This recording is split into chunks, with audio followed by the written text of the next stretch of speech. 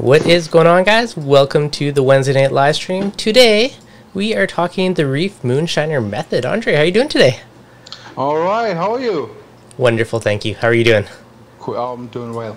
Uh, thanks for uh, for uh, for having me here. It's uh, quite uh, quite a uh, nice thing to be here online, and I don't know how many people are watching already, but um, I basically shared the link in the um, in the Reef Moonshiners group. So a lot of my my followers and clients yep. and um, yeah students, I would say, yep, almost uh, are here. So Excellent. I'm not, not I, alone floor here. I've been asked many times to get you on the stream, so yeah, it's been in the works for a while. I'm gonna be the first one when I'm when I'm ready, uh, and yeah, here we are. Perfect. Awesome. Yeah. So. All right. So you so you run the Reef Moonshiners group, you have all your trace elements, and you do a lot of really good kind of articles and stuff on keeping a reef tank and kind of helping people improve it. So there's a lot of cool stuff that you're doing. So I know you do a lot on the mentoring side. Now, what I guess for somebody brand new, how would you overarching describe the Reef Moonshiner method? So uh, I would say first of all the, um, the Reef Moonshiners method is actually something that um, I act I actually started doing that just for myself. Mm-hmm. Uh, a couple of years back when the uh, the ICP tests really hit the market, and uh, I was I was dosing um, trace elements even before the ICPs were really that popular, but it was always kind of a guessing game because you never knew how much of each of these minor trace elements are you kind of dosing, right? And um, that that changed significantly when the the ICP test came out, and that allowed me to to sort of start playing around with trace elements, uh, specific dosages um, and and and products, and and and there there wasn't too many tests out there in the beginning that that allowed you to do something. So one thing that that always bugged me was that there was no no freedom really um, to do whatever you wanted. You know, you kind of you, you tested the water. You had to use their products uh, to kind of do the corrections and or, or adjustments, and uh, it kind of it kind of wasn't really what I was after uh, because I wanted to do my own targets. I wanted to do my, my own stuff and uh, really experiment, you know, with with all these elements. So that was one thing that I didn't really like in the in the beginning, and then uh, also um, it was expensive. Um, when yeah. uh, started doing the uh, like 200, 300 gallon size tanks, gets adds up fast. uh, common brands out there, you, you buy these little you know uh, bottles, and they're gonna be like gunning with like two, three weeks, and then you're gonna have to buy the next one. So that was something what I didn't really like. And then I started to uh, one day I you know I just decided you know what uh, I'm going to re uh, you know reverse engineer all their all their tools. So I made my own calculation tools, figured out how much uh, of these most big brands uh, concentrations are, and started using their products. Mm-hmm. But with uh, with my calculations and my tools, you know, verified it all with ICPs, and uh, so I was able to to maintain my own levels. And then well, the thing was still it was too expensive personally for me for, for larger reef tanks and uh, to maintain these specific levels. So uh, at one point I just decided, you know what, uh, that's the full thing. I'm going to do even do the uh, the elements uh, for for myself as well. Mm-hmm. And well, well, if it was you, you do sell a lot of corals, the, the tank grows, you sell a lot of frags, things get out of hand, get out of control. A lot of people come and see routinely your tank. So here in Houston, where we have really like a very big community of, of, of reefers, um, where people basically started seeing, wow, you know, what, what the hell, what are you doing? You know, they started asking questions. What are all these bottles, you know, and things like this. And then uh, we started in, in, in town basically we start I started to, to sell and hand out these bottles to like friends and buddies. And um, I remember a day when uh, one of the guys started you know what Andre I want you know I, am going to need this this this this. I'm going to start with the full series here and this is actually how it started. And uh, I said, yeah, just just take it, and you you know. And uh, however, he left like a hundred dollar bill at my at my at my uh, at my table and uh, walked out. And then three weeks later, he came back. Know, I need refills. You know, so he dropped these bottles and we refilled it and. Uh, then uh, a few weeks later, the next guy came, asked me, hey, you know, I heard from Mike, blah blah blah, blah and this and this and this, and uh, it's kind of it, it took off automatically without really doing anything for it, and. Mm-hmm. Uh, at one point, I was at the at the situation where I had like 20, 30, 40 people, and that was a point when uh, it, it, it, it, needed so much support mm-hmm. uh, to, to maintain the program that I started thinking about making it more user friendly in terms of getting tools out, making instructions. You know, this is actually where how the handbook was born, yep. which most people that are on the method is uh, they, they know uh, that they uh, you know when they need they need anything or they need to understand anything, we got to look into a handbook and you know and see what's what's what's required there. Yeah. So uh, that is how kind of took on and, and took off and how uh, the, the, the, brand actually was born. Nice. It's, uh, it's just, by now it's uh, like after a couple of years it's a it's a small business. I operate on my own, and everything is uh, done made in the USA proudly. Nice. So um, yeah, this is uh, how it uh, started. No, that's awesome. So yeah, basically the biggest question is what most people have is really how to apply it. Mm-hmm. Uh, to my surprise, there are barely any people who really want to understand how it works. It's more like, you know, hey, I saw the tank, I know it works, you know, I've seen so many people talking about it, tell me how to do it, and just let me know what I, what I need to do here. And it, it's uh, that is basically what, what, what people are after mostly uh, majority of people don't really are not really interested in uh, what does it do and how it really works in the coral and you know, what does it you know in particular does on on, on the on the on the organisms. So I, I find trace elements can really change colors of corals, especially you know if you under overdose, it can completely change it. So so I find it interesting to slowly learn you know which one does what to your tank. Yeah, that that is that was one aspect where I was in the early days. I started. Um, kind of testing out what does each element really do to the coral and is it really like some of these myths that are out there? You know, you put potassium in and it does that. And you put manganese in there and it does this. You put rubidium in there and you know, it, each element does a certain thing. Mm-hmm. Um, well, the ugly truth is that um, the entire trace element and water chemistry is is in my opinion uh, depending on on limitations. Yeah. But there are there are it's like Liebig's law, law of limits. Mm-hmm. If if you have uh, certain things are completely depleted and missing, mm-hmm. you will never see the benefits of uh, really like uh, what what the coral could look like when you when you when you uh, when you when you're running out of traces. So yeah. That kind of, um, in the past of past years, we, we started doing kind of a, a, light version where we said, you know what, we just don't want to start big. You know, is already expensive, so we start with uh, just a, a, very limited amount of elements, and um, that didn't work very well. So we, there was a, a, light method, which we called the light method in the beginning, with a very uh, small amount of, of users, moonshiner users, and we figured out at the end, you know what, you you got to do tackle the whole thing, or it won't show any, or mostly not show any effects at all. So, so experience we did. So. Uh, I tried many, many, many elements, like in lower levels, higher levels, different ranges, and what I found out, honestly, is that you cannot really tweak specific coral, you know, coloration in corals with specific elements.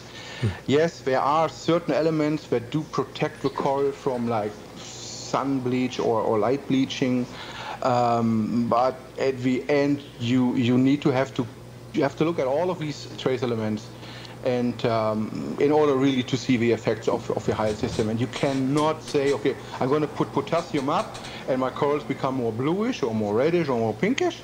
That is, um, that is so from my experience, really uh, the fine tuning is done when you have all your chemistry sort of managed and, and you know in, in place. Then your light spectrum allows you a little bit to play around with, with your coloration. For example, a lot of people ask me, hey, how do you maintain more pinkish correlation, uh, coloration? Mm-hmm. And I notice is when you have um, like these modern uh, light fixtures, they do allow you to play around with the UV, or UV setting. Mm-hmm. Uh, there is, if, if you tune up a little bit your UV setting, it gives it seems to really enhance more the pinks in in uh, in, in, most acroporas and most corals. Uh, however, if you tweak it too high, right, or you reach or over you know oversaturate your corals with light with light energy, then you're going to have an adverse effect, and you know corals go down the drain. That is then just so it's a line. Yeah. There's always a, a, you know a lower and a, and a higher threshold where you where you kind of work in, within. So. Um, to to bring it to the point, I you know to tweak specific coloration and specific corals.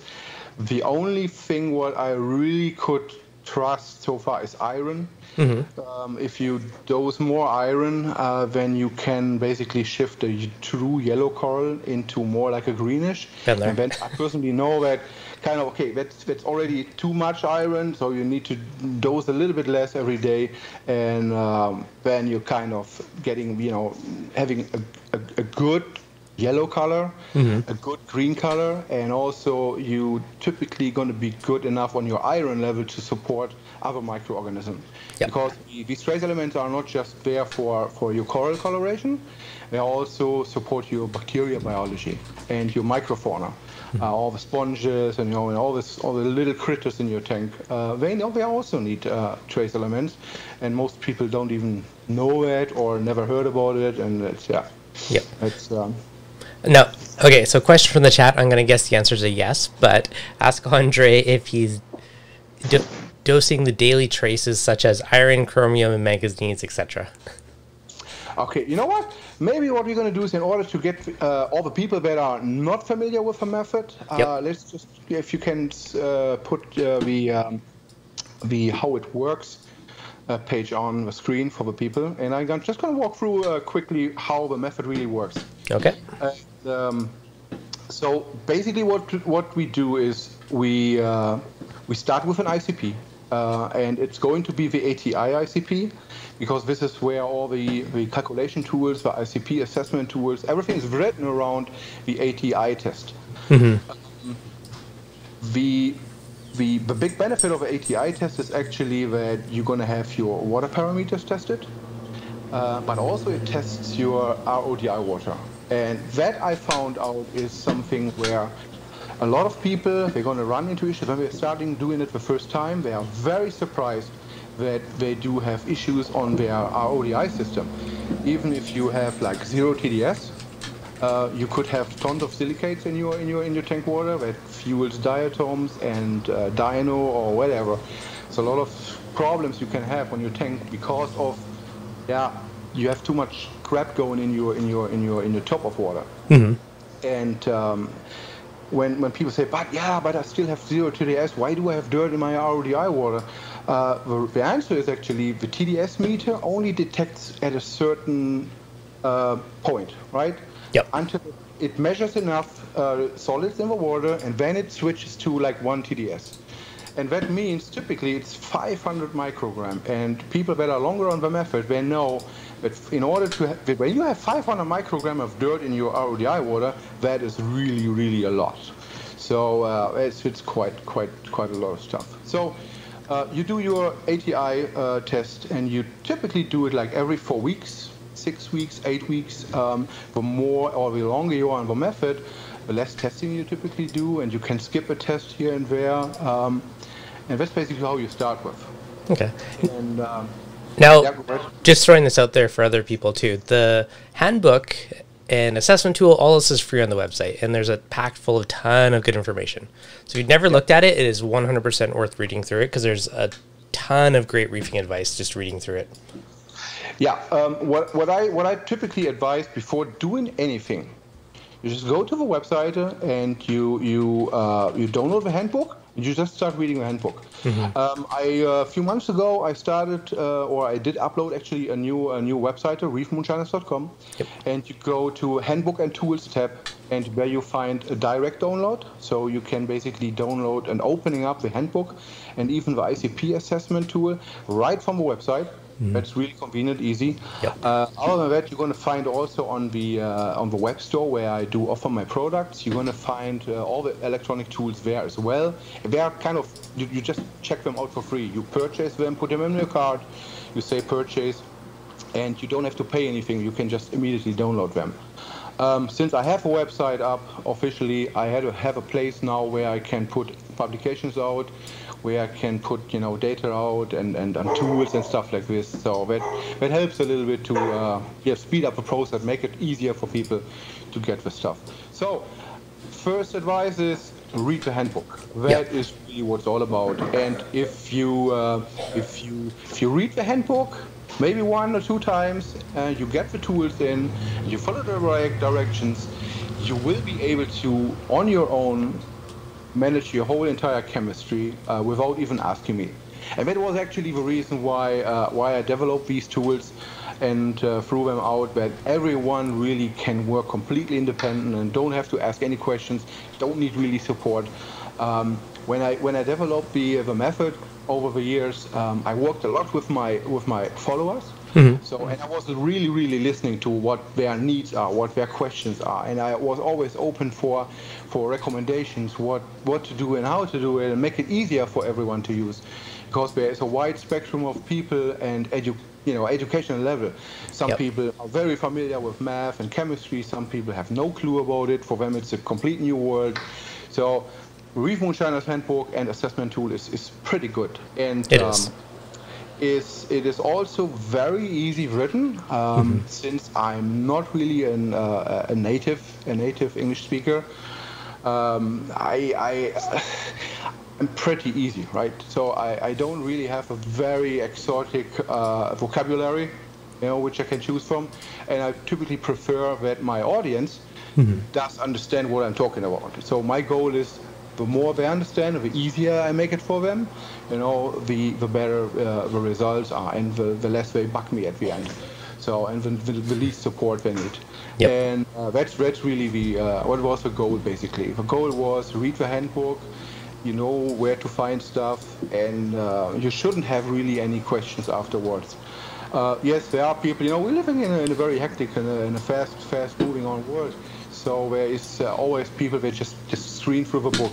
So sometimes I get people saying, "Hey, Andre, I have a question. I read the handbook uh, and I check it and I see, oh, okay, you have the handbook for five minutes. You can't read like a 40-page long handbook in five minutes." So I said, "Well, how's that? You go back, read the handbook, and if you still have a question, you know, ask me." So, I do that too. I'm like, "Here's a link to a video on that. Watch this, then ask."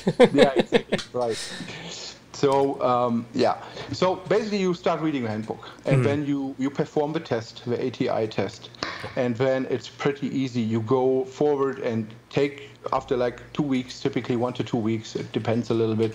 You're gonna get your test results back, and all you do is you take these test results and you manually enter these test results in that so-called ICP assessment tool. Mm-hmm. And what that tool does, it it it tells you, uh, it gives you a comment on your current level. Um, so it's kind of as I would personally sit there and would give an, a kind of an analysis of your ICP results. Yeah. So depending on what you enter, uh, it's going to be too high, too low.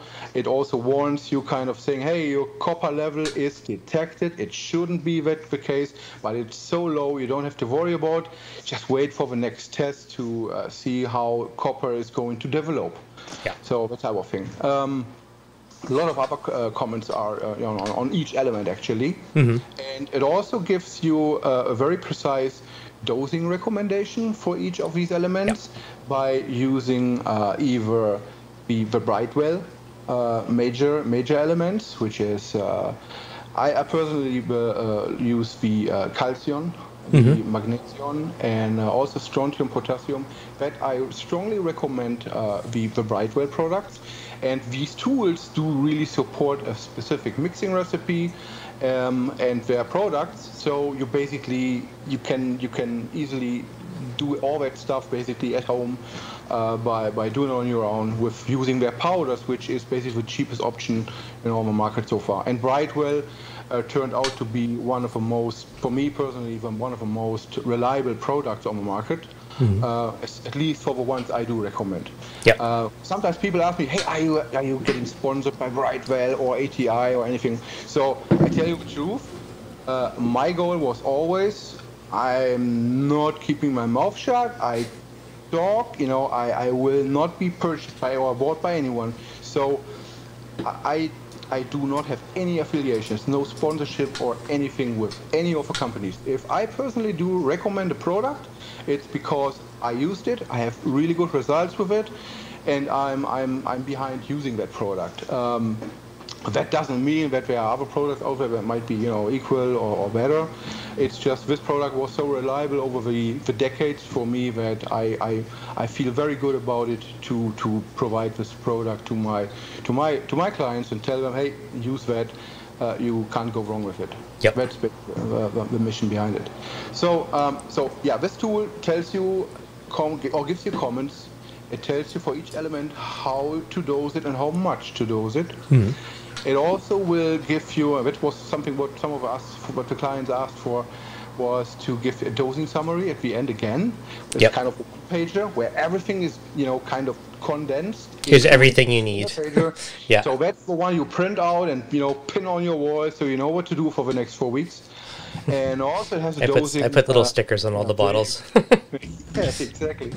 So also it has uh, a first-time shopping list. Mm-hmm. Um, some people had some difficulties too when they calculated overall dosing.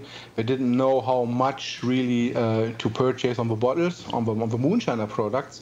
So one one guy came up with the idea, hey, why you just put in a, shopping list in there? You have all the data in there. And I was like, yeah, you know what? It's a great idea.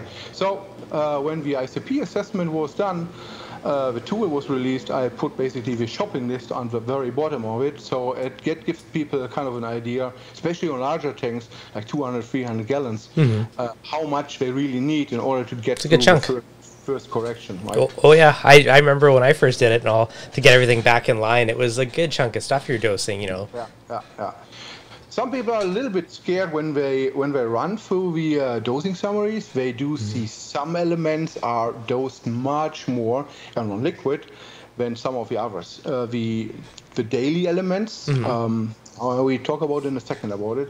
Daily elements are like 0.1 milliliters versus boron on fluoride. You dose like 40, 50 milliliters per correction. Yeah, right? so just uh, on my tank 0.15, 0.15, yeah, 0.07, 0.8. Yeah, these are, these are the daily elements, and and you dose them intentionally on a daily basis. Now, the, I guess one question: if dosing it say once a week versus dosing it smaller daily, is there a big benefit to the corals that happens to have it every day, or yes, versus yes. weekly? Yeah. Yes, yes.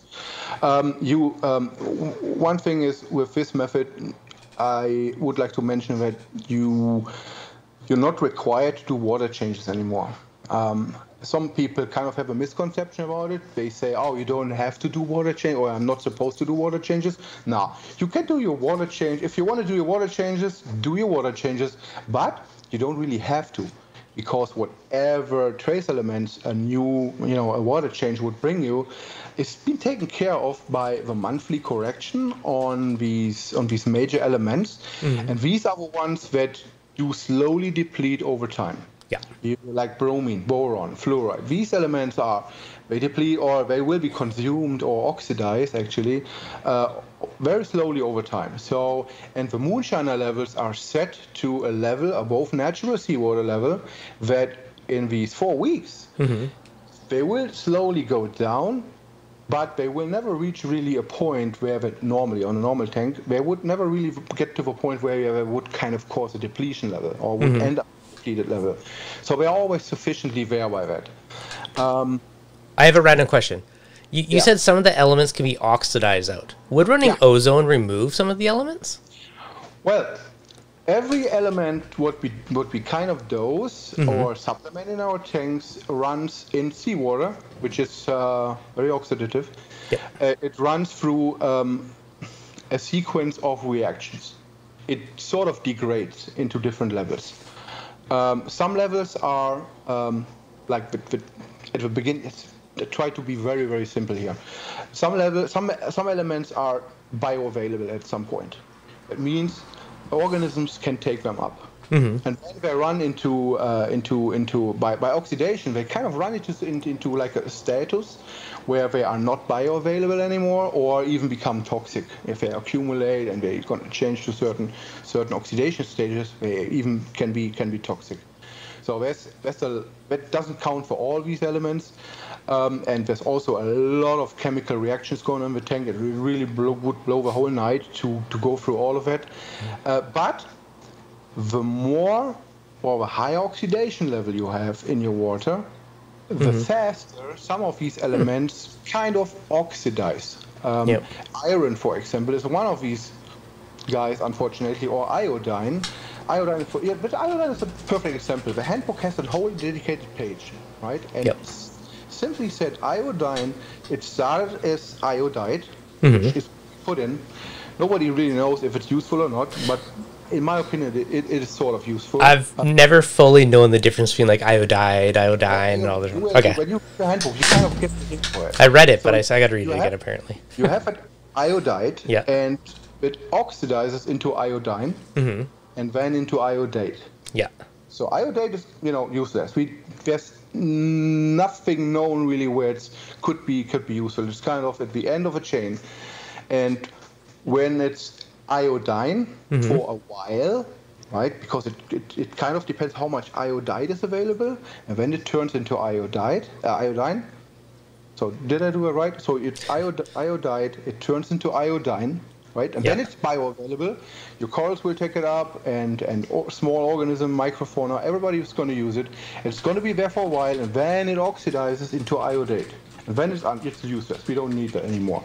So the reef moonshiners method uh, is is is in such a way done that due to the dynamic of iodine in the seawater, it, it, it goes up and down really, really fast depending on how, how strong your oxidation level is in your water. And that means that how much ozone you put in, how much carbon you put in, which takes it away as well, and how much aeration you have with your skimmer, the quality of your oxygen level that your skimmer puts in. All these things, your agitation on your surface, your mm. wave makers, all these things are making the iodine dosage so unpredictable. And this is why it's recommended you start do the dosing like every day, a couple of drops, Mm-hmm. And then you're going to look at the end of the month, you look what the iodine level are, basically based on the test. Yep. And if it's too low, you're going to put some more drops in. Mm-hmm. Next month, you're going to look again, or say, oh, I'm pretty close, I'm, I'm at 60 now. So you're going to put in three, four more drops in per 100 gallon. And you kind of do it uh, from test to test until you're going to be around a healthy iodine level where we want to be. Yep. And then you're gonna basically you're gonna keep that daily daily drops uh, per day, and you maintain your iodine no matter what. You're gonna be pretty good. What people sometimes do, they get nervous, or now I feel like oh my iodine is too low. Don't really understand the dynamic of iodine. And then they just do a simple correction dose, and that typically ends up that you shoot over uh, all that massive amount of iodide turns into iodine suddenly, right? Mm-hmm. And then two weeks later, it's all it's okay. going to go down and it stays low, and it, it doesn't really help. So, iodine really you have to be patient and you have to work yourself from test to test. And as soon as you're there, uh, even like small skimmer changes, um, new skimmers, uh, new filter media, uh, different settings on your pump, the impact on the iodine level at the end from month to month is so small, and you still do if it's getting too high, it crawls slowly up. Mm-hmm. You can you, you, do kind of sort of adjust it yeah. then from, from month to month, and you're going to be you're going to be good. And iodine is really one of the most influencing. Um, elements in, in our reef. And this is why it's so so important. And uh, the way the moonshiner uh, method does it uh, and even people who are not on the method, they can just replicate it by reading the handbook, using their own stuff, using their own tests. They kind of can replicate it even without being really like a, a real reef moonshiner user.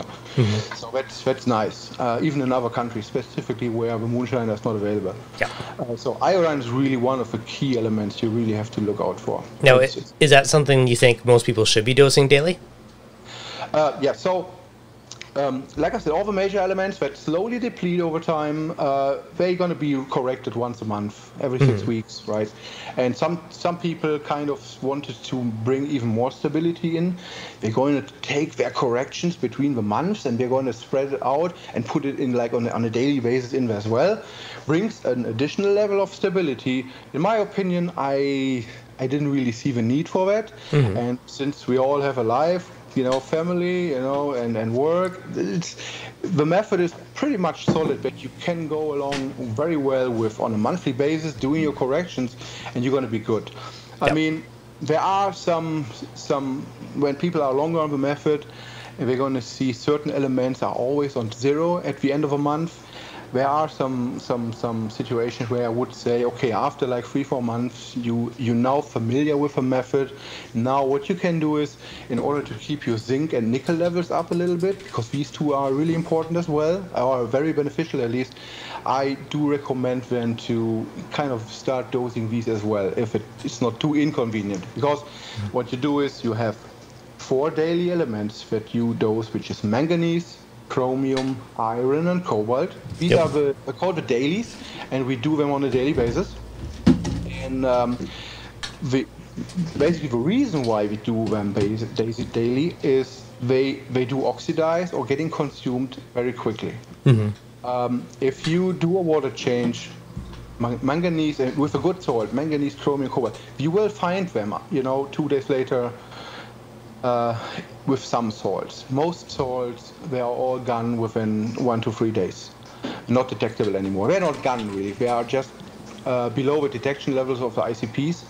And unfortunately, our day, our current ICPs, they do not allow us to look what is between truly 0 and, and one microgram per liter. Um, maybe in f- soon future we're going to have ICP machines that can really detect in that range, you know, more precisely.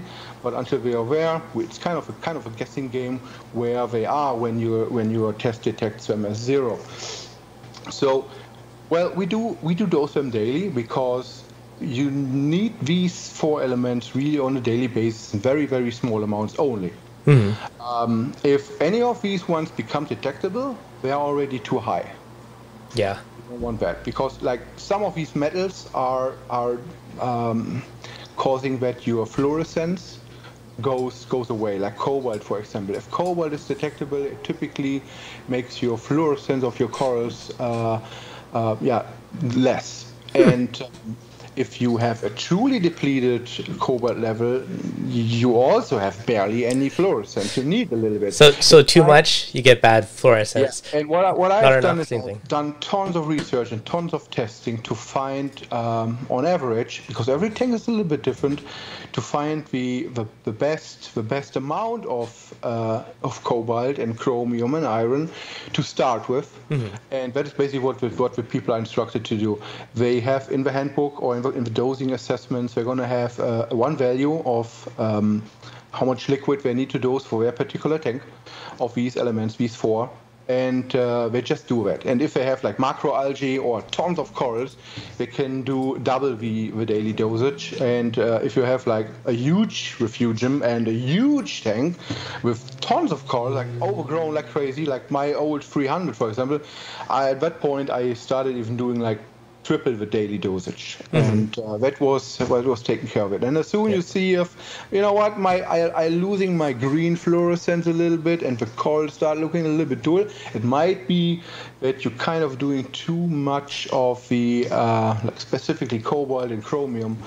Um, and then you just go back to what, what Andre said, what the tool said, and then you, after it takes a few weeks, then you're going to see your results. And in, in most cases, it get, gets back to the fluorescence level where it was before.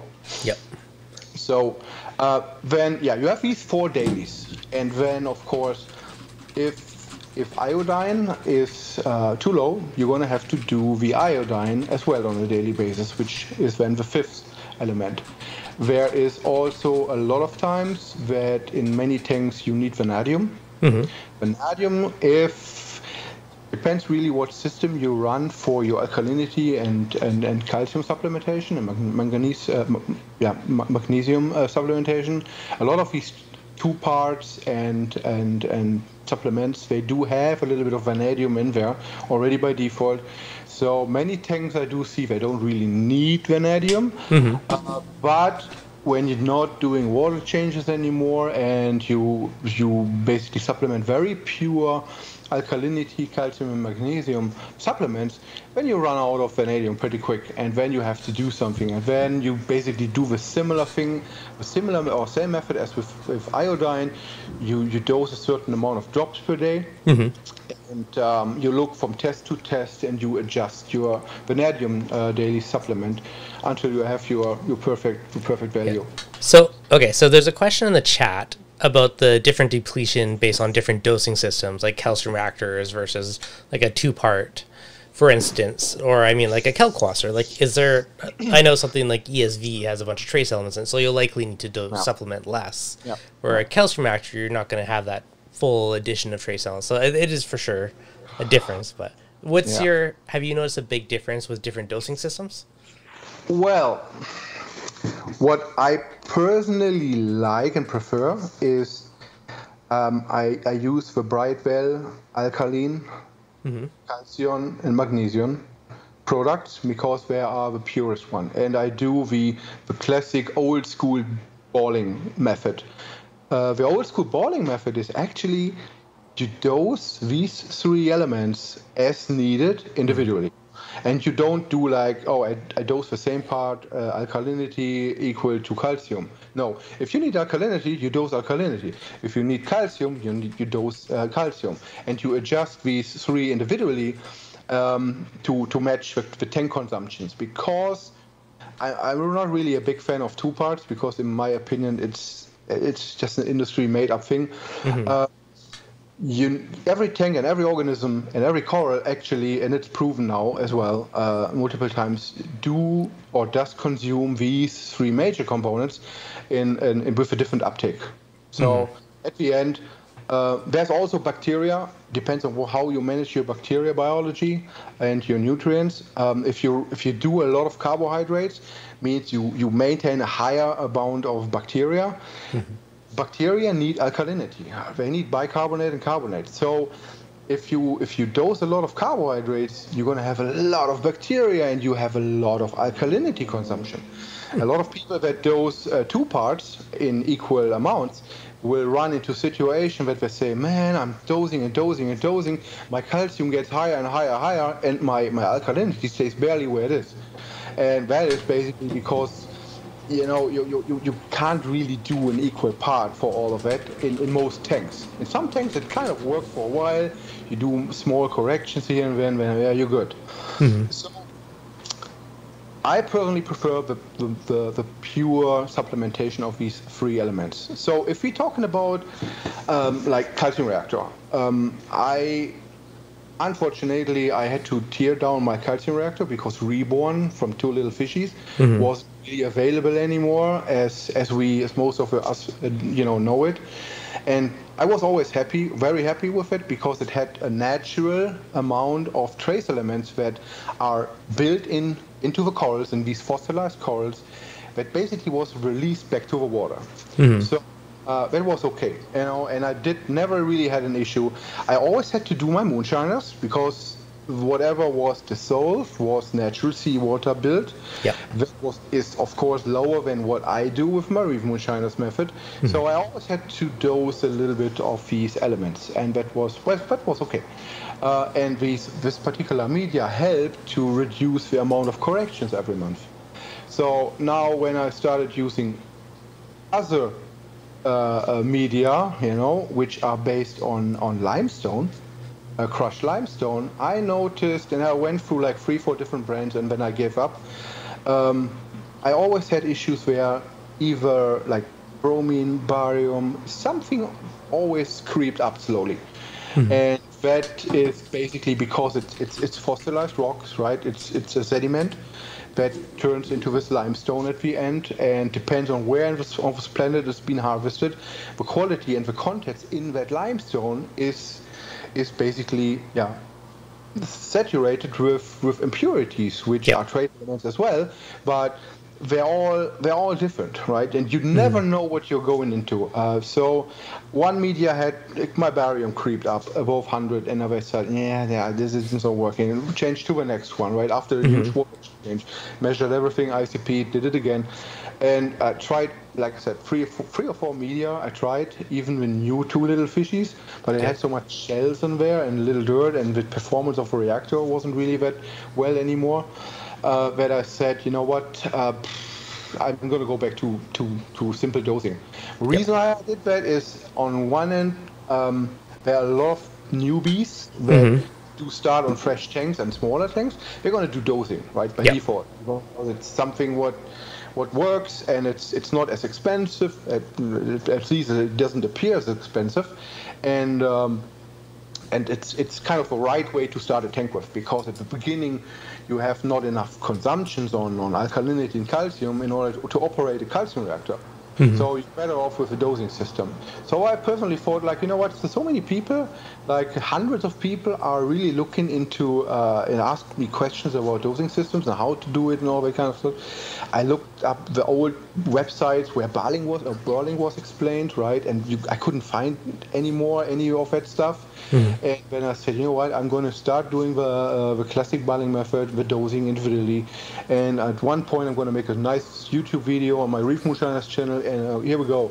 Now that helps people, and I can mentor like hundreds and thousands of people all at the same time the way I do it. Yeah. Uh, and, and, and it works. So, mm-hmm. uh, so that, that covers basically my, my concern with calcium reactors right now. And I do have one GEO 1218 yep. in the garage, just sitting there. Another GEO 818. Yes, you know these. I think that's what I have. Are pretty expensive, yeah. and they're just sitting there and and and you know collecting dust. Really, really sad. So. I, I hope at one point we uh, have a, the reborn media or very something very very similar could come back on the market, but it doesn't look that good at the moment. Yeah. So let's, let's hope for the best. Yep. So yeah, Kalkwasser. Um, well, Kalkwasser. First of all, there are different Kalkwasser brands out there. Some mm-hmm. of the Kalkwasser brands, I personally use Kalk Plus from Brightwell yep. in the past, and it has a lot of trace elements in there. In addition to the uh, to the hydroxide, calcium hydroxide, mm-hmm. I personally do not like Kalkwasser um, on on a longer period of time. The reason of that, for that is actually uh, the calcium hydroxide. As soon you're going to start dosing it, first of all, you need to have a really recirculating reactor. I don't really like when people, you know, putting the sludge into this top of containers, and so that is that's, that's already a, a problem on its own. But uh, anyways, you, you, you, do the method with calc, with calc, mm-hmm. and it brings your pH up, of course, right, because yep. of hydroxide. And one thing is what I don't like on Kalkwasser systems is over time you see a lot of residue all over the tank. Hmm. You see like precipitation after a year, one and a half years, all over the place. You see a lot of, of this precipitation going on, and it's very common. Every Kalkwasser guy you talk to will experience the same thing. Uh, what what it what it does actually, this precipitation is uh, calcium carbonates and unfortunately uh, phosphates. Hmm. So if you go with Kalkwasser, you're going to have to stick with Kalkwasser because if you're going to ever stop doing that and you go to a calcium reactor, for example, all that PO4, that precipitation will start to dissolve and it will hmm. go back to the tank. And you're going to you're going to troubleshoot your tank with high PO4 for quite a while. Because I'm using uh, both at the moment. So I got the calcium reactor, and I'm doing just a calc to the supplement just for the pH purposes. Well, but in theory, in theory, that sh- that shouldn't. I don't know. Maybe maybe it does. I I don't know. I'll find um, out long term. the thing is, I was constantly uh, cleaning up my pumps, my pipes, you know, equipment, mm-hmm. collect the precipitation all the time. Uh, it was dirty by, by saying that. Um, if you if you're changing from a Kalkwasser system after years to a calcium reactor, you're gonna oh it's nice, everything is so clean, you know, it's so easy to maintain. Uh, it's really nice. Um, yeah, but calcium reactor has its own problems. Mm-hmm. So and then another thing what I personally don't like, and it's it's it's hard to find any evidence for it, to be honest. But um, you're going to have um, a, a, massive chemical reaction on your seawater buffer system. You know, there's an uh, most people don't even understand really fully the uh, alkalinity in a reef tank. Uh, and it's a very, very complex subject. And the industry really uh, plays it really basically down to, uh, oh, it's just alkalinity. Now, alkalinity is the most complex subject in, in the reef, in the reef chemistry. And there are so many influencing, influencing factors on that. One is uh, CO2, um, your oxygen level, your carbonate and bicarbonate, uh, mm-hmm. which are which are always driven by um, a ratio and equilibrium uh, in the seawater, and with with, so, with calcium hydroxide, sodium hydroxide, or any other hydroxide, potassium hydroxide. All, these things are really, really bad, mm. um, dangerous. Um, however, if you in, in influence them in the water, they're going to cause a massive amount of chemical reaction in your equilibrium. And that shifts the carbonate bicarbonate ratio out of the normal seawater range. Um, and I probably have to do, you know, with some some explanation, do a video uh, in in, few, in soon future about this, but explains it a little bit more. However, that reaction causes actually that your pH goes up so high, mm-hmm. and um, I, I do see uh, when I talk to a, a, very good bio marine biologist um, who, who, who, who his job is basically the carbon cycle in the, in, in the in natural reef environment, and he was trying to explain me that after I, I studied on, on Cambridge University for quite a few weeks, the, you know the, the carbon buffer system, um, it is it, it's such a dramatic and, and massive amount of chemical reaction that's taking place on this carbonate bicarbonate ratio, similar to, similar to what we experience when we do have an alk swing. Mm-hmm. So means when you have too much, you know, too much soda ash, too much, uh, uh, uh, um, yeah, baking soda, one or the other. If you have too much in there and you're going to cause an alkalinity swing, this ratio on carbonate bicarbonate and and and and and all of that, it, it's changing its ratio, yep. and that's what the alkalinity swing does you can basically introduce the same reaction with using uh, hydroxides. Hydroxides. They, yeah. they do they're causing a similar thing. Um, normally, uh, it shouldn't really cause the long-term effects as we see it with alkalinity swings. You know what's going to happen? We're going to have STN, RTN, and all these bad things going to happen if you do it too many times right after each other. Well, if a healthy tank can take it once. Mm-hmm. Second time you have already eh, it's going to be it's going to be critical. A third time within a short short period of time, you're going to lose corals for sure. So I'm uh, a good pH to achieve is very easy by just take sodium sodium hydroxide, right, dosing in your tank, mm-hmm. and uh, maintain your alkalinity with it, even if it's a very dangerous uh, uh, chemical. Yep. But when when you do that, you run into the situation that you do may going to kill some of your corals. A lot of people do that partially. They mix numerous things all together and run them along with each other. Mm-hmm. But I personally would not do that.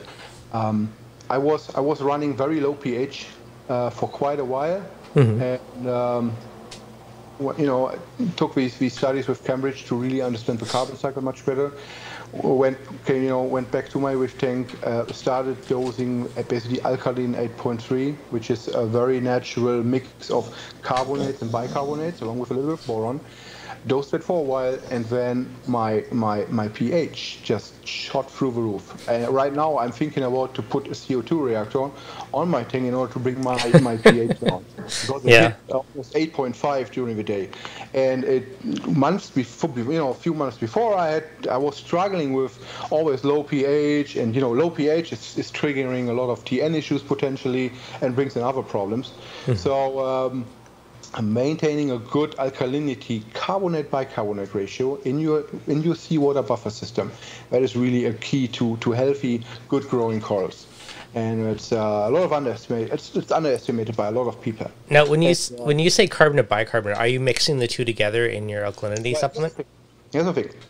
There is a natural ratio of roughly 90% bicarbonate mm-hmm know, and, and 10% carbonate. And then 1% is, is, is other stuff. That builds your total alkalinity. So um, when people dose like either soda ash or, or baking soda, they do one or the other. Mm-hmm. And that is causing as well a, a, massive amount of chemical reaction because what's happening is if you take soda ash, it basically goes gets into the water, it takes the CO2 out, the uh, this dissolved CO2 yep. takes it out in order and, and it builds a new equilibrium equilibrium equilibrium and, yeah yep and then um, you know you you, may, you maintains automatically a higher pH because the soda ash in order to get to that ratio that natural ratio it needs that CO2. So it, it just rips it out of the water in mm-hmm. order to maintain that ratio. And that is what's causing the higher pH. But this is an, a very unnatural process. So what I did do is, and a lot of moonshiner users that started doing the same, they did see the same effect after a while because your carbonate ratio needs to kind of rebalance. It mm-hmm. takes a while. It really takes a while. So you need to be patient. And you're gonna. Uh, apparently Brightwell, it's a little bit more expensive. You, you, could basically do the same at, at home while you're mixing soda ash with baking soda. Mm-hmm. Uh, I just use their their product and it, it's great. It's a little bit more costly than other products, but it, it really works really well. And you, you, you use that and you rebalance your carbonate and uh, ratio in your tank. And it brings, after a while, you will see that the pH goes uh, hmm. up up again uh, yeah. significantly, and that is a, that is something that has that have a lot of people experienced, uh, unless the ones that do have a true acid issue. Mm-hmm. If you have two acid issues with certain foul acids, fouling acids in your tank, that's a different ballgame. Then you need to start looking into um, you, you, know, not just aeration. You need to look into uh, your bacterial biology, having enough substrate in there, and utilize carbon in, or you know, activated carbon to get these acids out of the water for the most part. But be careful. Uh, activated carbon will not take out all the acids in there. Mm. But it's different. It's a okay. different story. yeah, that's right. Okay, so in, in, the handbook, I mean, before you fully dive into it, it does kind of concentrate on keeping, you know, make sure your nutrients are in check, make sure your dosing stable, you know, make sure you yeah. have a solid pH. So basically, get all the the general foundation stuff yeah. first. The moonshiner method, the moonshiner method is when when a lot of people ask me, hey, how do you maintain your your biology, your your, your nutrients, and your your your your, your alkalinity and calcium? Um, I leave that completely to everyone's preferred method, what people are most you know feel most confident with. Mm-hmm. Um, it, and it doesn't really matter if you do. Uh, if you do like carbon, carbohydrates, deep sand beds, chaetomorpha, uh, reactors, GFO, whatever. Um, do whatever you feel most confident with, mm-hmm. uh, and it, it doesn't really affect the moonshiner method. Yeah. That that that is uh, one one thing that uh, we would tell everyone. So don't don't be afraid. Don't be too scared when start looking into the chemistry. The successful reef really, which you see in the moonshiners group, you see a lot of people having you know a lot of success on on very short time. Mm-hmm. Not all of them, to be honest, because there are more. There's more things to a successful reef, right, than just uh, the, the, chemistry. Yeah. Um, I think this is mainly like three things: as light, mm-hmm. right? Which we shouldn't really have uh, issues with nowadays with all these fancy uh, light fixtures out there. Then there is the chemistry. If, uh, the chem- if a chemistry doesn't is always not well maintained, you're going to have an issue because uh, the coral need a lot of these elements and vitamins and nutri- not, not nutrients, of course, to really um, perform their metabolic processes, and that's what's what's really you know uh, provide these these nice fancy colorations. Uh, if anything is there missing, it's screwed. You know, it, if the process doesn't work anymore, mm-hmm. uh, then another thing is the biology. The biology is also very important, and that is really where there's so much variation out there. How you could manage your tank I really didn't want to touch it. And um, like I said, here again, I wanted to leave it to everyone's preferred uh, method. Um, I have not seen a tank where the, the filtration method or or the you know biology bio or nutrient management system really caused any complications or collision with a, with a, with a chemistry method or moonshiner method really. Uh, mm-hmm. Okay. That's fair. Yeah. Well, okay, uh, here's a random one. Because um, I know certain, uh, like macroalgae will obviously absorb nutrients or nutrients and trace elements. Um, yeah. Like GFO probably absorbs a certain amount of trace elements. I always wonder how much that's like sucking up of it as you go. Oh, ah, gosh. Um, there is one ICP lab, Oceamo, mm-hmm. in Austria. And I actually I was the first Oceamo ICP customer out of the United States. Uh, this guy, uh, Chris, Dr. Christoph Denk, he runs Oceamo, or Oceamo. I am really a king of mispronunciation here. So apologize for that, by the way. That's I do uh, so all the time too. you go to the Oceamo's website, mm-hmm. he did a test of, um, I think, GFO and a variety of cars. He didn't mention brands, but he made a kind of comparison of uh, the impact of these different media on, on, on different trace elements and, and, and yeah, mostly trace elements because we are, we're kind of in competition, except he has a nice ICP machine, which I don't. Um, but he's in Austria, and, and, he basically does the same. We we share a lot of our experience and and and um, talk a lot with each other. So he has done a couple of uh, tests on activated carbons and GFOs, mm-hmm. and the absorption rates between these different brands is very very different. Do they absorb trace elements? Yes, and but that's not rocket science. Um, GFO is basically, um, yeah, it's an exchange it's it's kind of working similar to an exchange resin. it it takes something and gives something, right? Mm-hmm. Um, majority is it, it takes trace elements with phosphates and, and other good stuff. And uh, the majority of what most uh, GFOs give us is, is copper in very small amounts, but they mm. can be useful at that point in time. Um, what I have seen is when I use GFO, uh, maybe I used always, I was too impatient and uh, I used too much, too fast, and you know too quick. That's trouble. I always had bleaching events. Um, I wasn't really happy with uh, using GFO on a long on long term.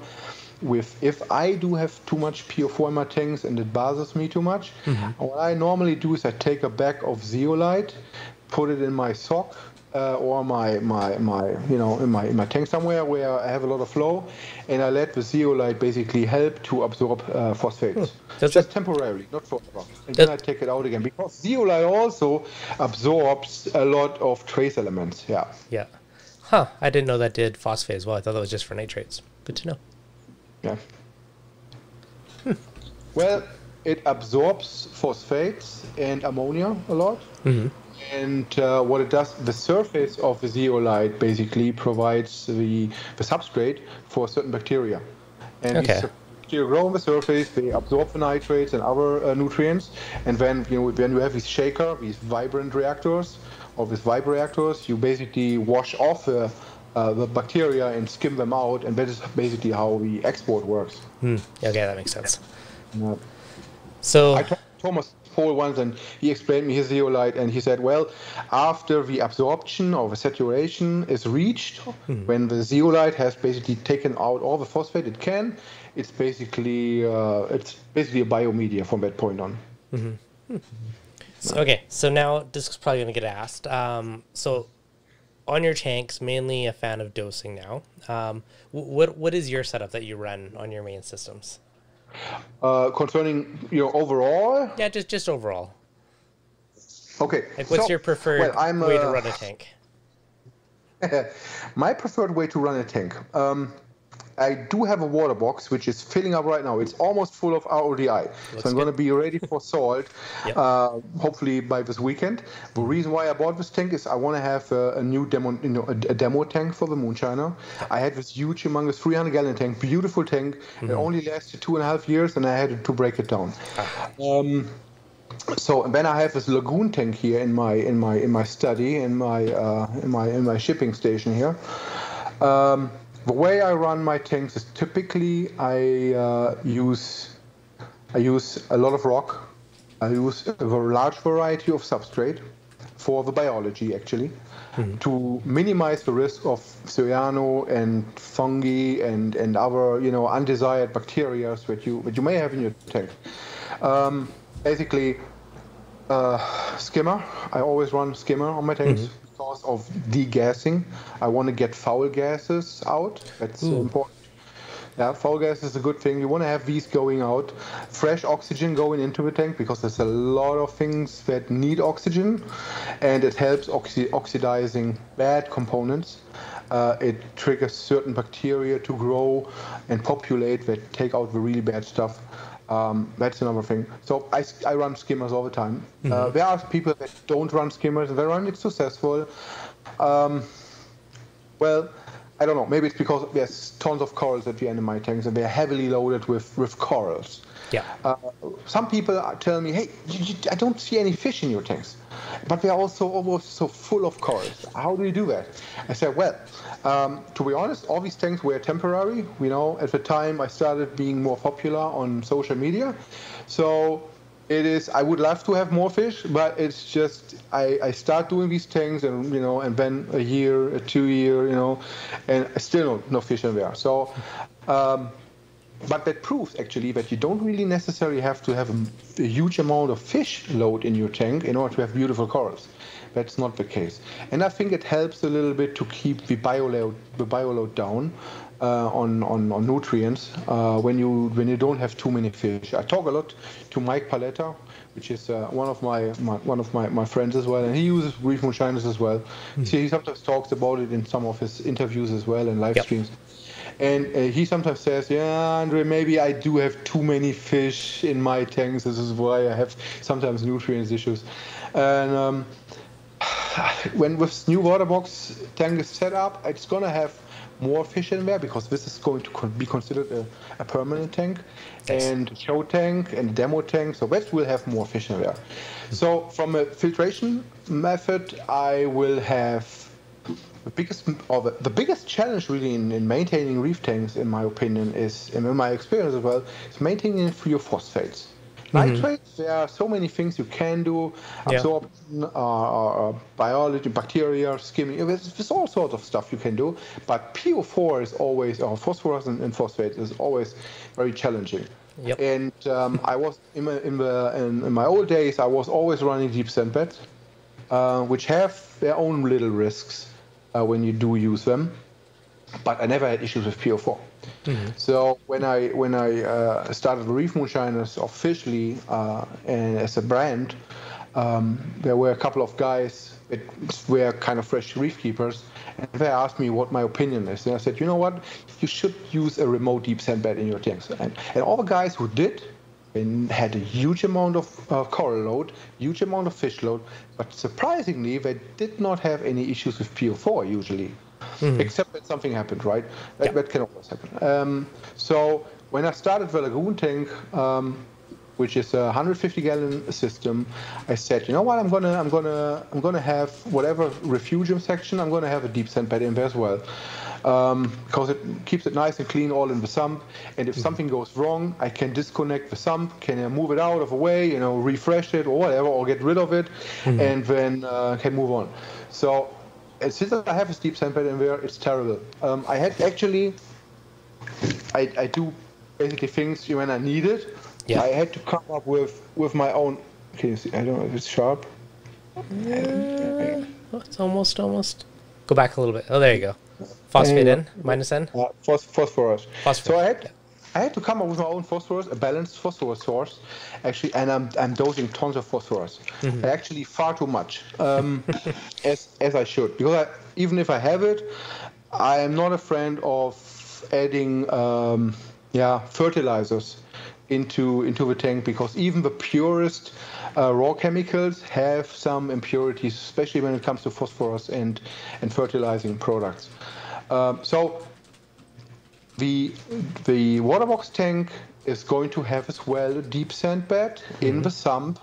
And uh, I predict from the data I collected from all these people that it will take between a, less than a third, around a quarter, around a hmm. quarter of the surface of the tank surface is what yep. you need for a deep sand bed to sufficiently reduce your, your phosphates.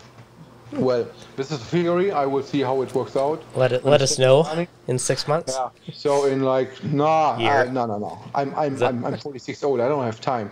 So that thing need to be up and running within a month, and uh, you know, so I can break down the lagoon. So one other thing that you mentioned earlier is these tanks also So have lots of um, deep corals. bed is something I'm what I prefer. Oh, there you go, chopping off. Yeah, you, you broke up. Can you repeat that? Oh, I was gonna say. So one of the other things you mentioned is these tanks had lots of corals, and that it's also gonna suck up nutrients too if you have a ton of encrusting growing corals. Definitely helps. Yeah, yeah, that's correct. Yeah. So, in addition to uh, the deep sand bed, um, I do run uh, some mechanical filtration, um, and it's going to be typically it's going to be either like a, a mesh sock, uh, just a, screen, a mesh, uh, and if the tank is really dirty, I run sometimes uh, felt socks. Uh, but majority of if I have a space, I'm going to use the so-called power filter. Uh, and uh, if you if you're interested in what a power filter is, uh, look it up. I'm gonna have a video coming out on how to build one. Uh, what it really does, it, it destroys microorganism in in your tank. It's free floating. It's it's lo- sort of looks like a power head, but what it really does, it it it causes a low pressure environment, almost like like a vacuum condition inside the suction uh, section of the of the of the pump the filter and it destroys uh, uh, uh, microorganisms. And um, it's, it's a really fancy, nice, easy do-it-yourself tool, and it's very effective. People that do that, they do see a lot of clarity in a short period of time. Uh, on their tank. So only thing is what you have like this ugly thing, you know, sort of in, hanging in your tank. But if you have a beautiful reef tank, you will barely see it. Um, on the lagoon tank, it, it kind of is in the way. It doesn't matter where I put it. So that, that's to be honest. Uh, on the uh, waterbox tanks, uh, I, I will probably have it somewhere in the corners. Yep. So that take care of mechanical filtration to keep the particles out of the tank and the water, or, you know, somewhat clean. Because I'm a strong believer in uh, in a, in a, in a in a low population of bacteria in your water column. You want to have bacteria in your substrate. That's where they belong to. You know, where they're taking care of your mm-hmm. of your biology, of your nutrients and everything. But the stuff typically in the water column, mm-hmm. like as on beautiful natural reefs, is typically lower in bacteria. So That means Yes. it, it can be particles, right? If you see free floating particles, food, phytoplankton, and all the good stuff, mm-hmm. planktonic food, you can all have all that floating around. What you what you don't want to have is actually too many bacteria in the in the water. That's what you don't want. And when you run your tank, and all you do is between like a slight cloudy tank, and you put the power filter in, and after like two three days, uh, you're going to have much more clarity, better light penetration, of course. You see. Uh, the color of the corals becomes more vibrant, more reflective in the light, more more fluorescence, right? Um, it, it makes a big difference. I think I feel the, the corals look much healthier and happier when they when you have uh, good clear clear water. okay, question: Why not put the power filter in the sump by the sock area or somewhere? Well, um, you can try that. It really depends on how much turnaround rate you have on your tum on your sump to your tank. Um, I personally tried it. If you have, if I have my, my, my return pump running enough water flow, um, it, it, it can work. It's, it's really a configuration and uh, play around with thing too. Some people don't really have a turnaround through their sump in order to achieve really the uh, yeah the, Okay, the that's fair. performance of the uh, full effectiveness of the power filter. okay, I, power filter actually is uh, something that the uh, the traditional DSR method, the Dutch synthetic reefing method, Mm-hmm. also uses. Um, I found this power filter in a very old literature on of Albert Thiel and some other guys uh, in the in the 70s, 80s, and I saw it also on uh, the DSR reefing websites and tried it out, and it works it works really well. Mm-hmm. So nice. platform, good Okay. thing, right. really awesome. Another question. So I have one let's more talk question. about the rest of let's talk about the rest Okay, of the okay, setup. How I run my tanks. Okay. Um, I what I also have is I have um, some sort of biofilter Hmm. for ammonia and aerobic filtration. Um, it right now, due to space constraints, I run the Bashsea or the Bashsea biofilter. Uh, that is what I'm running on my Lagoon. Works really well. Uh, I'm going to use it on the uh, Waterbox tank as, as, you know. Also, in the past, on my my Marineland tank, Marineland tank, I had basically both overflows filled with old bio balls. You know these these black yep. little balls, trickle filters. They were filled up to the top, and the water trickled through this. The problem with that is they do clog and get dirty, and then getting it all out, that is uh, quite a mess. Mm-hmm. Yeah, actually, that's it. I, I, pay attention to a lot of um, substrate, variety of substrate, uh, like biomedia, uh, plastic medias, sand or gravel. Um, Siporax pond, something, you know, they have a variety of different substrate in your tank to allow uh, as much bacteria strains to grow in your tank. Makes sense. So why why don't you like bacteria in the water column? I'm curious because what one side of me is like that's kind of coral fluid in a way because it can eat it, and then the other part of me is like, well, if you run UV or ozone stuff, you're gonna basically kill off most of that. I, I, yeah, you you always have bacteria in the water column anyways, right? Mm-hmm. So and yes, corals feed on bacteria and they, they eat bacteria as well. Um, the problem is you have more bad bacteria free floating in your water column than the good bacteria. No. That, that's really Fair the enough. reason. So it's kind of, huh, it's beneficial benefit versus risk yep. and uh, i personally like rather keep a, it's it's counterproductive you put a power filter in you keep the water clean mm-hmm. and then you start feeding zooplankton and phyton and all this good stuff costs a lot of money and you put it all in and then you have a power filter just sucking Suck it all up, right? so it's, it's, kind of a little bit counterproductive. But uh, I think every, everybody has to has to find the right balance between enough food in the tank and um, yeah. Mm-hmm. Enough crisp in the water. The crisp in the water is really what, what makes the difference. If you look from the side through the tank and it looks all milky, cloudy, it's potentially more bacteria, more undesired bacteria. If it's just particles floating around, that's okay. As long mm-hmm. you can you can see still a little bit of a crisp hint in your in your water. Yep. Now, do you use UV or ozone on your systems? Um, I do not currently use UV. Uh, sometimes I use ozone uh, just to get rid of the uh, the yellow yellow compounds. Yep. Problem with ozone is um, it increases the you know oxidation level of your tank, and um, well, it also causes nitric acid, hmm. and that is something. Ozone is really if if you do too much and you cannot really measure it. If you do use too much, you're going to have a negative impact on your tank. And when things don't look really that, that nice and healthy and happy, you think in all sort of directions. Is it my, my water chemistry? Is it maybe a, a disease? Is it a bacteria issue? Is something else going on? You really, it's, it's so so difficult. So ozone is something what I would recommend only really to experienced reefers uh, mm-hmm. to deal with. I would definitely set it up appropriately with uh, like a recirculating system uh, where the ozone in the water is separate from the system, the water is sterilized with the ozone, and then going through activated carbon, mm-hmm. right, and then goes back to the tank. And then the question remains is since you have to use ozone and activated carbon together, what does clear the water? Is it really the carbon or is it the ozone? So that's fair. I I don't have the UV on right now, but um, I do I do run a small amount of ozone every night just because it gives you that crystal clear water, which I love with the Peninsula tank. Yeah, so, yeah, yeah. Yep. Okay. Now something that we talked about a while back, which I thought was interesting because you mentioned today about using a skimmer in order to help off gas and get rid of the nasty stuff, and yeah. again yes. bring in fresh yeah. air. So you weren't a fan of the recirculating uh, CO2 scrubber because of oh, all yeah. the nasty gas that goes back in. Yeah, yeah, Which I know a lot of people do. So that might be like an interesting yeah. to touch on. And to be honest, it's if you you know there's a lot of designs out there that do promote that. Mm-hmm.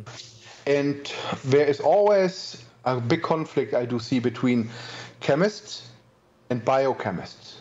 Mm-hmm. They they fight with each other. They, they never, they, they, you know, on a chemist, a chemist thinking is really like, you know, he thinks in formulas. You know, a sort of certain of, of chain reactions going to happen, and he predicts what's going to happen. And he's typically these guys are geniuses, right? Uh, the biochemist he takes into consideration also the the the biological aspects of reactions that are going to happen. And if you find two, you know, one of each side, you combine it, that would be pretty awesome. And these are the guys that, that you know, that really have it going on. So uh, that that is the you know the best the best situation. Yep. Ah, lots of fun, eh?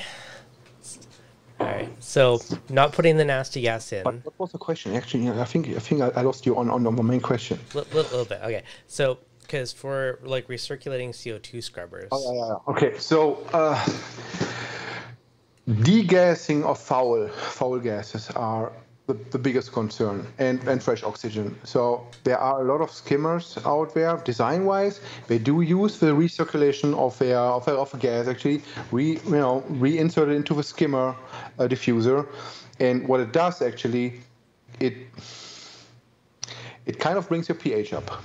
Mm-hmm. No, no matter what, it somewhat brings your pH up but it doesn't really help to get foul gases, methane, you know, all the methanes and all the other nitric acid to produce gases, getting those out of the tank.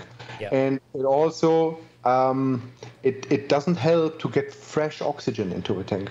So mm-hmm. what I what I tend to do is I, I run my, my skimmer line uh, out out of a, out of a stand. Yeah. We intake from the skimmer um, ideally goes to the outside. Here in Houston, that's a really big issue because we have like this you know, mosquito killer truck going mm. around every night. So that is not good. Um, but I, at least I try to get the uh, the airlet hose getting outside of a stand, taking room air.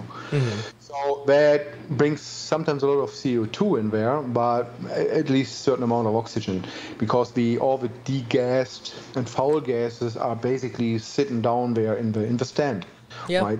There they are. It's sucking so, it, recirculating it. So yeah, yeah. Um, even like uh, some of the you know the big marine biologists uh, on Reef2Reef and other they kind of are also promoting to do not recirculate your air, getting fresh oxygen in, which is really what we what we what the organisms need. Yep. So I did a bit of a hybrid one on mine where I have I have a little container with some soda lime on top. Yep. But yep. that would so it does circulate, but I also put a tea in it, so it's also sucking fresh air. So it's kind of a blend. Okay, so you're kind of mixing it, right? Yeah. You bring some oxygen in there. You also bring some of the recirculated air back in through the through the soda lime. And um, well, if you keep recirculating it, uh, you don't drag in so much of the fresh CO2 from the room, mm-hmm. and whatever comes out of the skimmer. I did some experiments on on my previous skimmers and um, typically my skimmers exhausted like air in the range of 200 to 300 ppm of CO2, yeah. while the room had at least 600, 700 ppm of CO2. Yeah. So taking the skimmer air is definitely you know better than, than taking the air from there. Yeah. But I always ask my question: Why is there no more CO2 uh, in the exhaust of a skimmer if it degasses the CO2? Mm-hmm. Well, that answer I got when I went through the carbon cycle, because there is very little um, aqu- yeah, aqueous CO2 actually. Um, yeah, it's kind of under. It's it's like true pure CO2 in the water that can gas out. Yeah. There's not much in there. Uh, there's a very quick reaction going to happen where the CO2 in water gets into uh, gets converted into carbonic acid. Mm-hmm. That's part of its equilibrium. And uh, so getting that out, only activated carbon would remove acids, right? So degassing hmm. only takes out a small amount of the of CO2. Yeah. That is actually what, what, what I found out at the end. Good to know. Yeah. Carbon activated so carbon gets rid of acids. I did not know that. In order to get your pH up, you really need to re- uh, reduce the amount of CO2 going into the intake. Yeah. And then, yeah, I have to agree. When you take your exhaust from your skimmer and your cup, mm-hmm. put it back in, that has definitely less CO2, so your pH benefits from it, and you don't need uh, as much soda lime mm-hmm. uh, on, on, your on your little bag or reactor or whatever you use. Yeah. Um, yeah definitely a thing. Uh, actually, the uh, Reef Moonshine Handbook it has a troubleshooting section, mm-hmm. which nobody really reads unless they're in trouble. I read it, uh, and it talks about it has two subjects actually covered. One is um, the uh, water changes. Why why you know what my point is on, on why not why not water changes or why water changes are not really required. And the other subject is really low pH tanks. And it has a variety of different things in there. Uh, what you can do in order to tackle a low pH. Mm-hmm. That's some, maybe something helpful for, for some of the viewers today. I've probably implemented most of them. So, yeah, yeah. air exchanger, outside air. Well, I tell you what, uh, you, you try it. Go and buy yourself alkaline 8.3p mm-hmm. and set it up on a doser and start dosing that. Okay. Maybe do it hybrid or whatever, but supplement a balanced ratio of carbonate and bicarbonates with that product, mm-hmm. and uh, let's talk in a couple of months if if your pH uh, went back up. Because what I what I would predict in your case, because I know you you, you dealt a lot with this with this pH issue. Yeah. Uh, same here. I, I did, did did the same thing, and I was extremely surprised about what a rebalanced carbonate ratio can do to your to your pH and to your tank. Try that, and I will. It can only get better. I tell you. yeah, because I mean, right now I've done the air exchanger. I got outside air I have some soda lime recirculating mixing with the fresh air into the yeah, skimmer. Yeah. And now recently I added just a very small amount of kalkwasser, but just a very yeah. slow drip through a little reactor just to get that little boost. It's, it's in a happy place now, but imagine I did do all that. I did all this good stuff, all these, you know, big reactors and you know having having a company like like reef moonshiners in the back helps me to buy even the fancy stuff right mm-hmm. so i this huge reactor all kind of stuff so i did all that and I was barely able to maintain my my pH uh, high enough, right, so that it doesn't cause any issues. And now, same tanks, same setup, nothing different, uh, and I have to do something to get my pH down now. Just put because, your calcium reactor back on.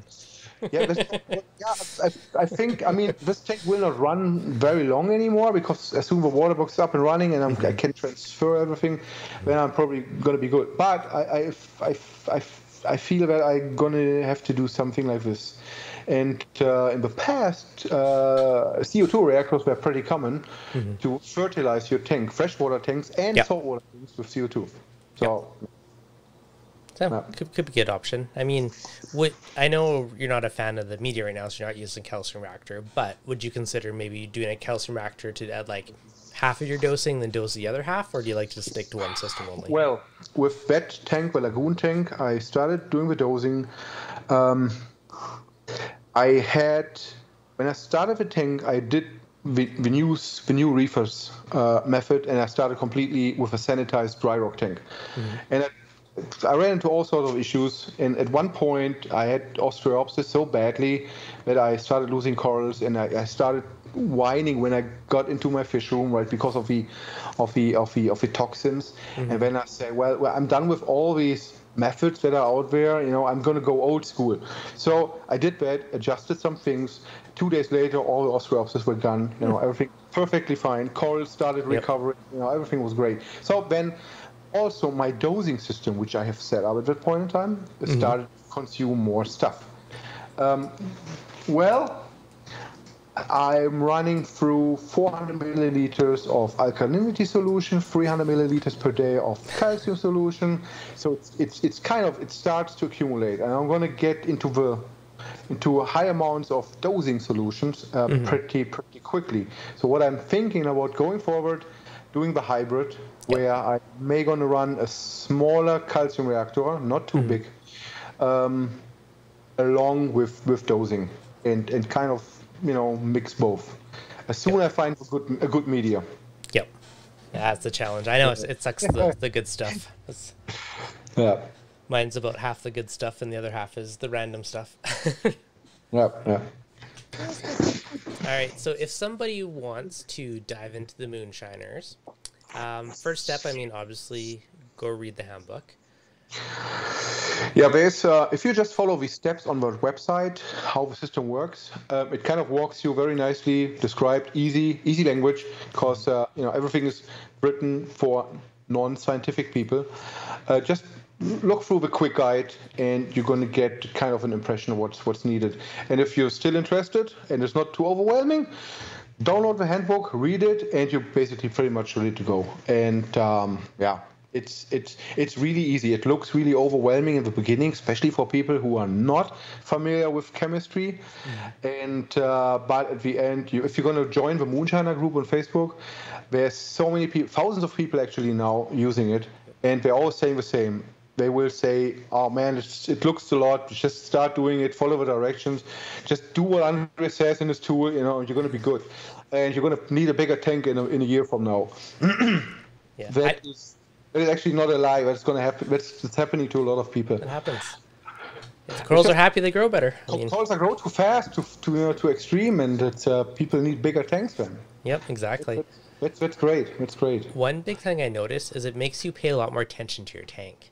The like the little things where you might gloss you know over. What what I noticed when I one of the one of the reasons was like lazy reefer syndrome, right? Mm-hmm. I wanted to with with so big reef tanks, uh, 200 gallon and bigger, with all these corals, you know, a lot of money in there.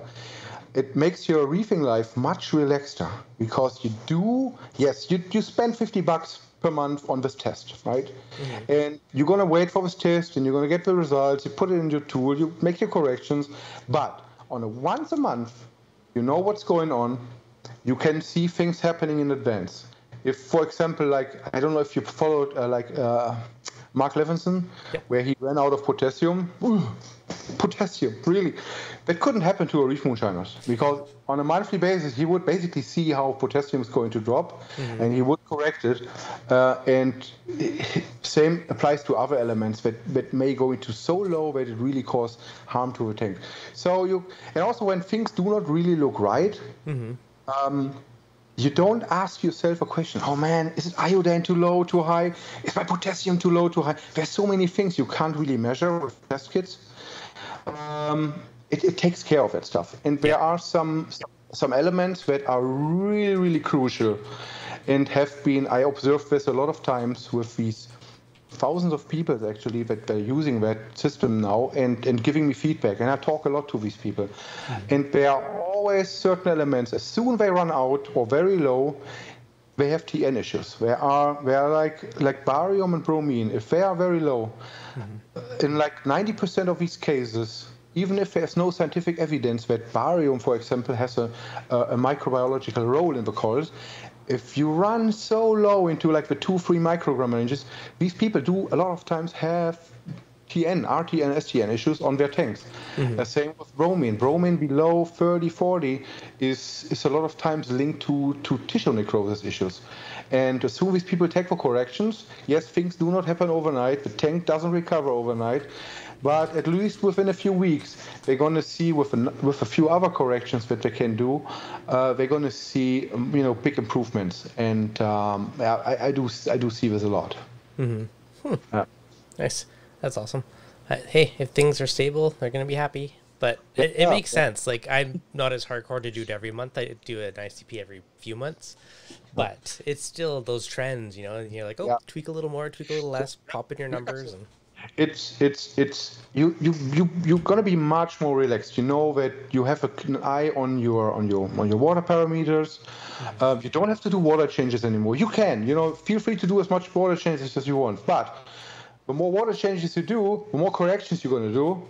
You know, my hmm. wallet will say thank you.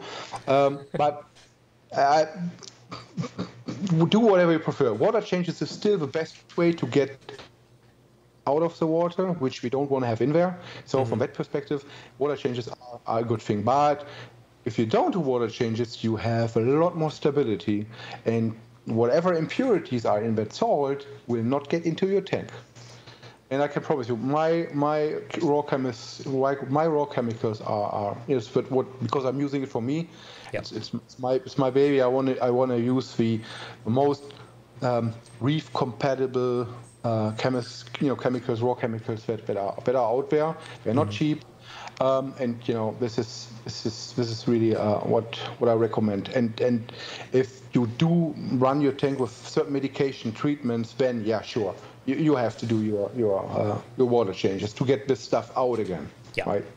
Yeah. yeah, that's yeah. It's still it's still good once in a while, just because I mean, depends what you're dosing, but a lot of do it. Hmm? And you don't forget how to do it. don't forget how to do it. Yeah, I mean, it, it depends. Flood, once in a while you can flood your dining room, your you know, your living room, you know, getting I've all salt water mopped out again. That's why I automated mine, just so I would prevent me from spilling. Yeah. Uh, Well- Yeah, yeah. So yeah, it's it's it's a much relaxed reefing, Mm-hmm. and you keep an eye on your chemistry. And also with the ATI test, you also have an eye on your your the health of your of your RODI cartridges. A lot of times, people are very surprised to see that their DI cartridges are causing issues. Um, I personally prefer the SpectraPure uh, high capacity silicate buster cartridges. You find them also on my on my web store, but also on Amazon. So so buy them wherever they are, you know where you find them cheapest. Um, but these ones are really, from my experience, fixed almost every RODI system issue which I have encountered. Um, Especially when it comes to silicate issues, but also to, to, to other issues. Um, a lot of times I feel that people are do not handle refillable resins in their in their RODI systems, or, or just just just a bad media. Now, what?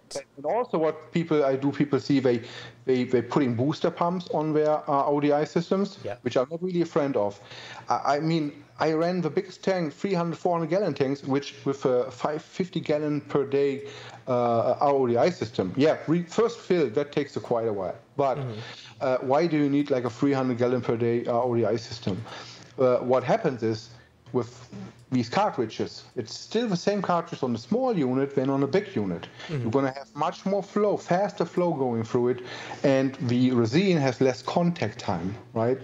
And if you run your water through this resin too fast, it might pass the capacity or, or, you know the absorption rate what the resin could give you and um, then stuff is just passing by and then you have at the end you have to you know you have a fast RODI yeah but where's the point if you have like still you know residues left in your in your in your DI water Interesting. so be careful with your boosters That's not something I ever really would have considered.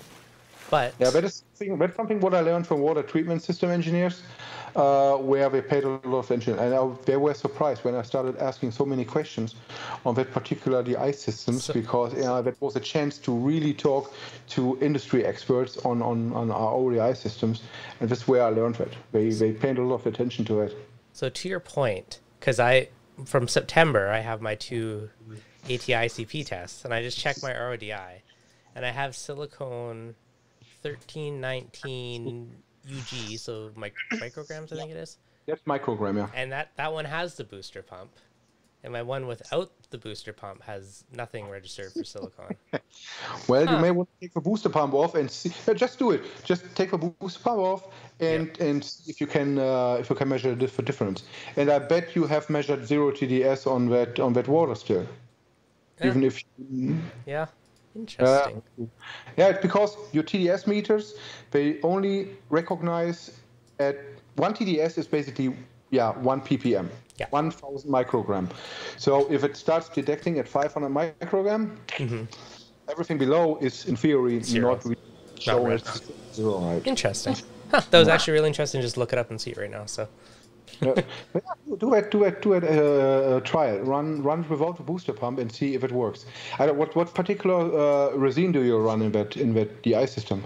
Um, it is just the mixed bed and has dual chambers on the one, dual It DI on that one. just a mixed bed, so maybe a lower, lower grade brand. So you may need to run lower, uh, lower speeds of or lower velocities of water going through these resins because lower grade resins. It's not that they're lower grade; they're cheaper because they're they're they need more reaction time. Um, and uh, it's, it's really complicated. We don't really want to go there, but it, lower grade means also they, they don't have the efficiency and capacity to take up these these ions from the water, so they need more time, more, reaction time. Yeah. And if you boost a pump on this with a, yeah, you you do math. That's interesting. Yeah, but it's, you're gonna see that a lot.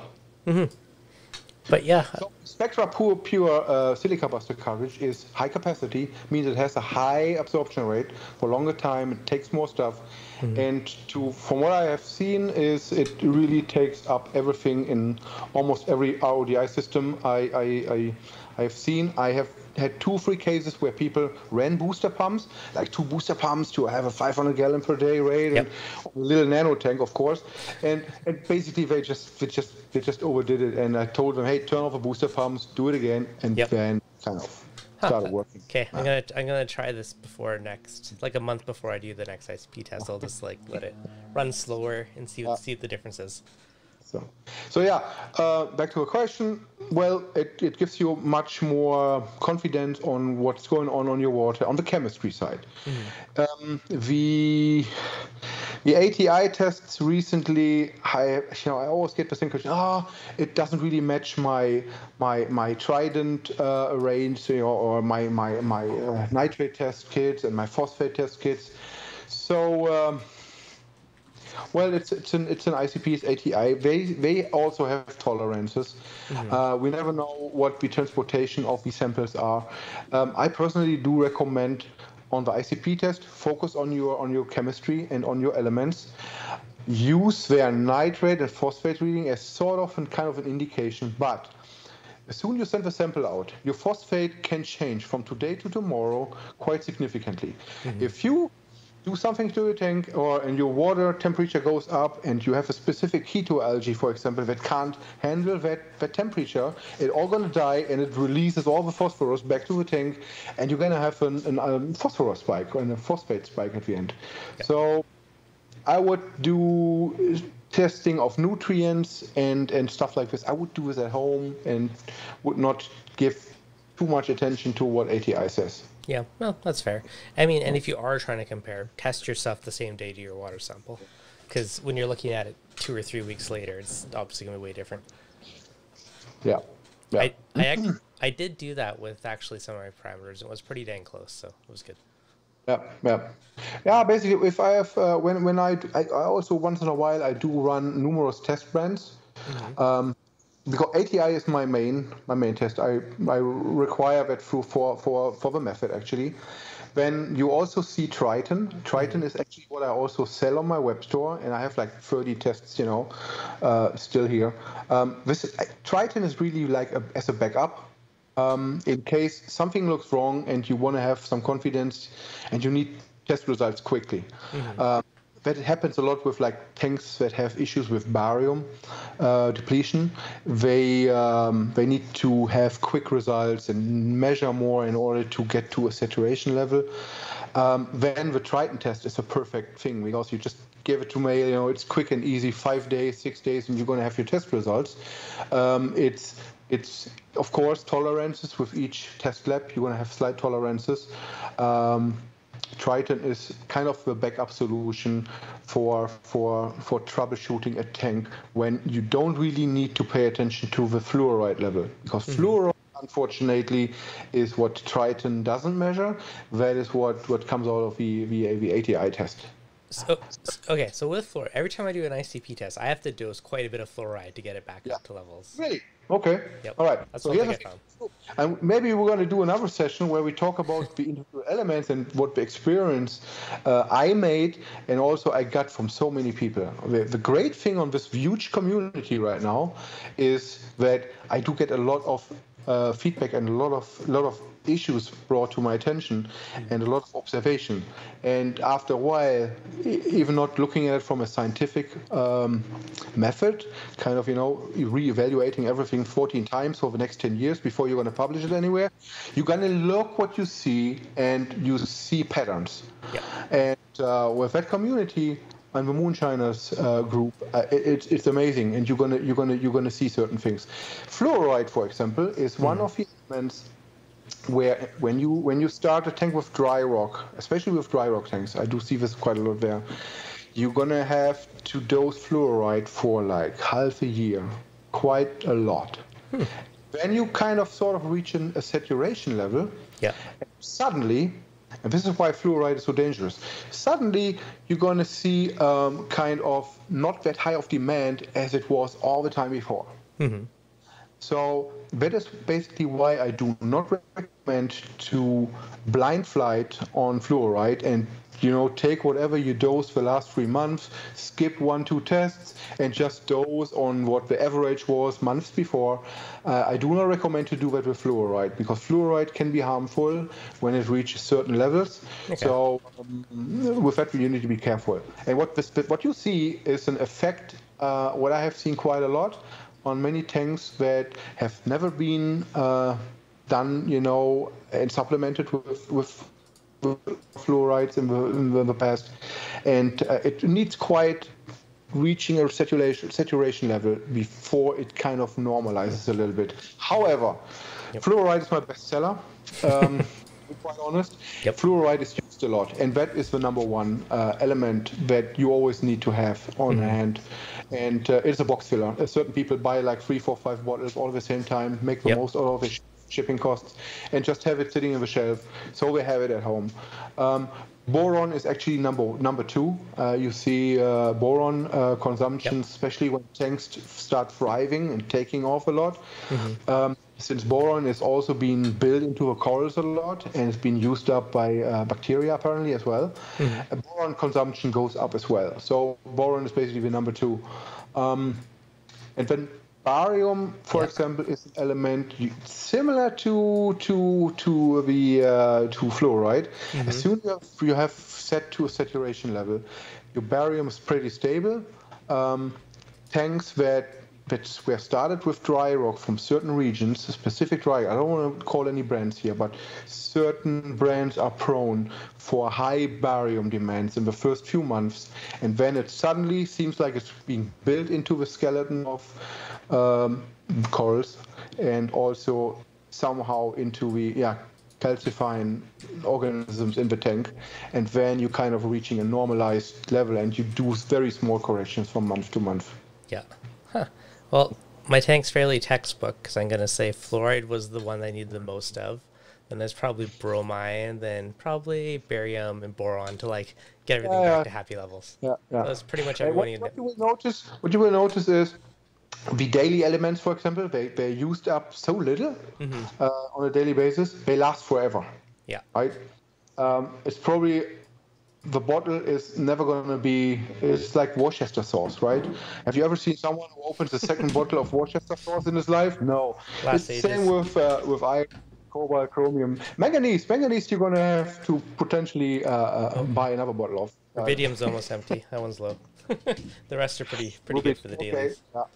yeah, yeah. Um, there's a couple of people asking about the mud and what's in the mud or what's kind of the the mud, the mud is genius.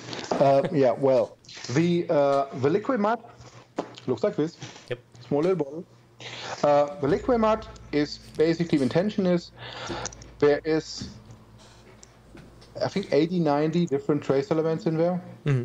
that are literally impossible to dose uh, because it's like 80, 70, 80 different uh, trace elements all at the same time. Um, and they are, they are rare, rare earth metals, exotic, and very, very, very small amounts. And the benefit of a traditional mud bed, for example, is that it releases slowly uh, amino acids, but uh, combined amino acids, but also majority of, of um, trace elements rare trace elements which we don't really have in in any other way coming into the tank other than our food sources you know uh, even soils are lacking on, on many of these of these of these ingredients so the um, the mud bed is the, the way to go mm-hmm. well not for me because mud is it's kind of it's it's it's messy, right? Mm-hmm. You have to replace once in a while. It's the most of the muds out there are kind of a turf more than a real mud bed. The uh, the real sea mud, the Fiji mud, is is really the way to go actually to provide uh, some sort of, of, of, trace elements from, from nature yeah. and also um, what what you're going to find in there and going to can prove it even with a microscope there's a lot of microorganisms in the mud that are dormant. Mm-hmm. And soon you put them in the tank, like a few days and weeks later, you're going to have a lot of microorganism, bacteria, and other stuff coming out of it, which is nice. Yep. Um, which is what the liquid mud does not do. It does not provide you any of these microorganisms. This is just focusing on the, the trace elements that a mud bed would really uh, provide to your to your reef. Um, so the mud bed is just too messy for me to deal with. Um, so I had to come up with something else because I really liked the the effects on the on the trace element on the chemistry side of a mud bed. So uh, then I came up with that stuff, and that is an optional item. I do not recommend to buy it really in the beginning unless you have already a beautiful tank. You have to do like at least one month of first correction, let things stable or stabilize. You know, have a tank looking good first a little bit, um, and then you can enhance further and put in like liquid mud and also the uh, the vitamins in vitamins in there. Yep. That's kind of I list them in the in the in the shopping list at the very bottom as optional items, which I recommend strongly to use them, but not at the beginning.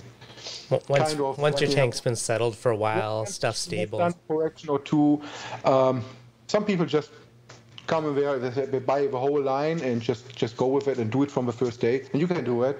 Uh, there's nothing wrong with it, but if you have to watch your wallet and this expensive, this hobby is already expensive, uh, put them on the list for next purchase, you know, and uh, it's a good box filler. Yep. Excellent. Um. Now, is there any other big things you'd recommend to somebody new looking to try this? Well, read the handbook once or twice, right? Or three times? Yep. definitely would recommend. I always have the question: Do I have to have experience, you know, on the on the system to be to to be able to do it? And um, that was one of the the biggest concerns I had in the beginning because the success rate on this method is really really high. But also it is high because the people that are started doing it, they're kind of experienced reefers they know what we're doing in terms of nutrient management, you know, dosing, calcium reactors, equipment. So they were not really green, you know, with when when, when they came on, on the hobby on, on this method. And that was I like that because it made sure that really everyone succeeded with, or almost everyone succeeded when when on when on the method. Um, but then I started getting more and more people interest uh, on on this method when they had barely any any any experience on, on reefing, right? They just bought the tank, you know, all this fancy equipment, and uh, yeah, had no idea. So I I just did some some people took some people on and, and ran this uh, the system with them, and um, that helped actually the experience with these guys actually helped to develop and fine tune some of the handbook tools. Uh, you will see that there is a classic calculator that you can download to do your own things, but that was so complicated I had to simplify it further. So this is why I came up with this assessment tool where you just hammer in your data and it does everything for you. Um, so actually the results from these newbies on the in the hobby doing this method was actually phenomenal. They mm-hmm. didn't know and I didn't understand what they were doing kind of. They just followed the rules and guidelines but they they, they were very very successful right from the beginning. So if you are doing your first reef tank and you're just starting with some some salt with some water and some fish and some rock and I would say stay away from that. That is far too overwhelming. I would say give it like half a year, getting familiar a little bit with the nutrient measurements and and how to manage phosphates. You know, as bad it sounds, you know, kill your first coral, kill your first fish, right? Getting adjusted to uh, pH and, and some of the basics of water chemistry. And if you still like that hobby and you understand more of it, look into it. And maybe it's it's going to help you to, to succeed on uh, on the next steps.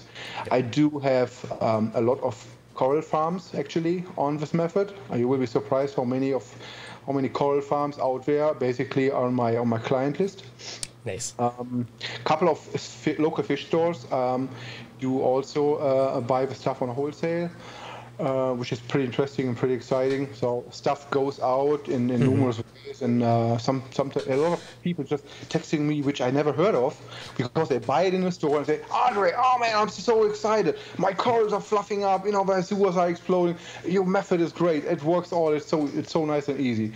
And uh, I said, yeah, great, yeah, awesome. And I don't even know who they are. And then, you know, but but, but kind of kind of. Trying to stay in touch as much as possible with, with these guys. Mm-hmm. Um, and uh, still get sometimes questions from some people where they have issues to understand uh, anything on, on, on this method. And I have a little long list, and which, which I'm working off uh, with, with improvements to help people to uh, yeah succeed and, and, you know adapt to this to this method and have, have an easy, easier life. Mm-hmm. Okay, so there's a few, there's a handful of people in the chat questioning their motivation to actually dose things daily. Um, so there is, I know you did have a doser friendly version. I haven't tried it, but I believe you had one yeah. that was okay. doser friendly. so yeah, there's what I have done, and actually what I did is I, I did it actually for nano tank tanks. Mm-hmm. There is um, each of the four dailies exists in a normal version, which is highly concentrated, and you know the bottle will last longer than you normally, uh, unless you are 20. Um, the same dailies are available in nano versions, and the na- I call it nano pump version because that would actually allow to be used on nano tanks, which is like 100 gallons, okay, 80, 40, you know, 25 gallons, whatever. And the, the, the basic dosing is you need one milliliter per day mm-hmm. on 100 make it really easy. It means, you know, 50 gallons, 0.5 milliliters per day. Yep. Really easy. Um, and that concentration is actually good enough to be able to dose with most of the dosing systems that are out there. I mean, if you have a DOS system, I think you can go to increments of 0.05 or 0.02 yep. milliliters, really, really small, which I don't even trust that it really can do it. However, um, if you want to dose these four elements, you can do it on dosing pumps, definitely. If you do not really have a nano tank, if you have a nano tank, I would probably say, nah, this is this is not good on a dosing system, mm-hmm. uh, even the system. Uh, don't put it on dosing. Do it manually, and then it gives you kind of a connection to your tank. You know what you're doing every day, yep. and and it's interesting. After a while, people stop looking at uh, the milliliters they're going to start thinking in micrograms. Mm-hmm. They're going to start understanding the system and feel like, oh man, I can compare my tank. I dose whatever five microgram of iron or whatever, and and and I can compare it with my my buddy, you know, Francis or Mike, how mm-hmm. much he's going to dose, and it kind of helps people to understand getting behind the chemistry a little bit. Mm-hmm. So yeah, nano version definitely. If you have a nano, do it daily. If you want to do things on pumps, and if you have a nano, I would say don't do it. What about uh, a big tank with dosing pumps? 100, yeah, 80, 100 gallons. Um, I, I think depending on what dosing system you have, you can you can definitely do that on dosing pumps. And um, I think most of the dosing systems can handle less than one milliliter per day now yeah, uh, per dose. I think the Versas can do like 0.01 of a mil or something super duper tiny. Uh, so. Like like like four or five years ago, there was barely anything other than the DOS system that could really handle small amounts. It has to be one milliliter at least, and that actually triggered my my idea to dose it like one milliliter per hundred gallon. Mm-hmm. It should match the most dosing pump systems out there. Makes sense. Kind of. That was a was a thought. But but just throwing it out there, daily dosing, you're like, oh, 1.15, that's it in the tank. There's an element in it. It's it's really quick and easy. When one, one thing is when uh, when when people come, um, you you're gonna get the dose. Uh, you're, you're gonna get your, your bottle right, and you open it up, and what you do is you're gonna have this bottle stopper. Yep. Which is free, by the way, for everything on your dose element. And so a lot of people throw these things away; they don't know what they are for. So, so you take this here and you put it in your bottle. So now makes your life easy, no spills, and the, the syringe that is coming with it, you can just easily, like a doctor, you know, you look really professional when you when your wife is looking, you're gonna be like, oh, gonna, she's gonna be like, what are you doing there? And then you basically can almost spill free, easily dose your, your stuff without without making a mess. Yeah. What you notice then, when you want to put this thing here on, this cap, it doesn't immediately fit. You're gonna have to take something um, like a Texas pocket knife, for example, right? and take out this little cap. And what you find, there's this little sealing cap in here for, for transportation purposes, and it keeps the bottle sealed. And you just take it out, and from that point on, ready Yeah. for the shelf and Oh. ready for use next time. A lot of people don't even do it anymore. They leave the syringe like just, yeah, there you go. The syringe is my cap, and then you just walk up, flip it, suck it out, put it in. It's quick and easy. And even I still slack some days, but and think uh, about it, yeah, every every element that you could dose daily Mm-hmm. um, is actually supplied with a syringe every time and a bottle stopper. yeah. So And uh, there are some bottle stoppers on um, on Amazon. Careful, they are different. They have like a hole. Uh, the syringe would fit, but it, it doesn't stop the bottle from dripping. Actually, mm, gotcha. Well, it, it doesn't drip with the needle in it, so leave it in there for storage. You're not going to cross contaminate. It's ready to roll. That's, that's that- what I like. yeah, that was actually the, uh, one of the reasons because these um, you don't really want to have uh, air exchange in the bottles too much because that would degrade the elements over time since they are being used up so little per day.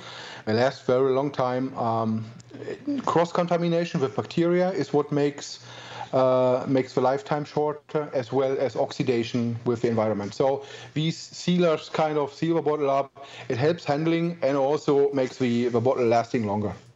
Perfect. Excellent. So as long as it doesn't stink or has any particles floating around in there, you're good. Lasts forever ish. It lasts almost forever. Yeah. Perfect.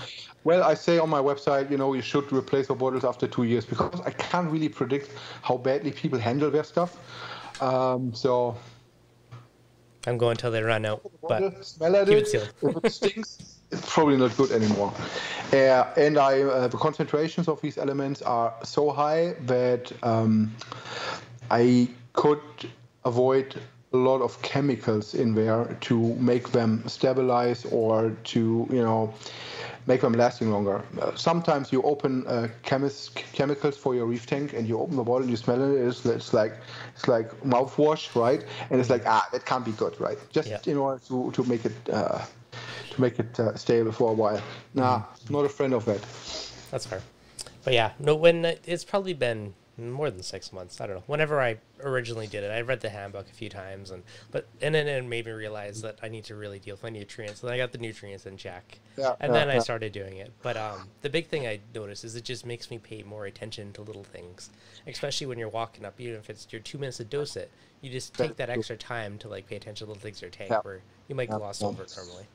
One one thing is there's so many programmers out there. I have a lot of you know all, all the, the Reef Moonshiner community, which is absolutely great, right? And we have this group almost no drama, uh, and really for a group of that size, there's, there's very little good. drama in, which is really good. And it, but it, um, it kind of keeping an eye on who is really going into the group uh, to keep trolls away and stuff like this. So um, the uh, where was I?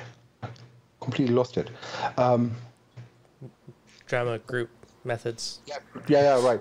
So um, it, it, it, it, it kind of worked out really well with that group to, to, to gain so much experience on, on, on certain things on the method that uh, yeah that it, that it, it, it, it really benefits everyone uh, in, in, in, in, in numerous aspects of, of the hobby. And uh, it, it, it really, it really, it really helps to be successful. It doesn't matter if you're a new guy or an, a more experienced guy. I have so many guys in there that are kind of already like 20 years along, like since the hobby, and they're starting the method and they're starting the, the methodology and the, and the and the product, and they see dramatic changes on their systems.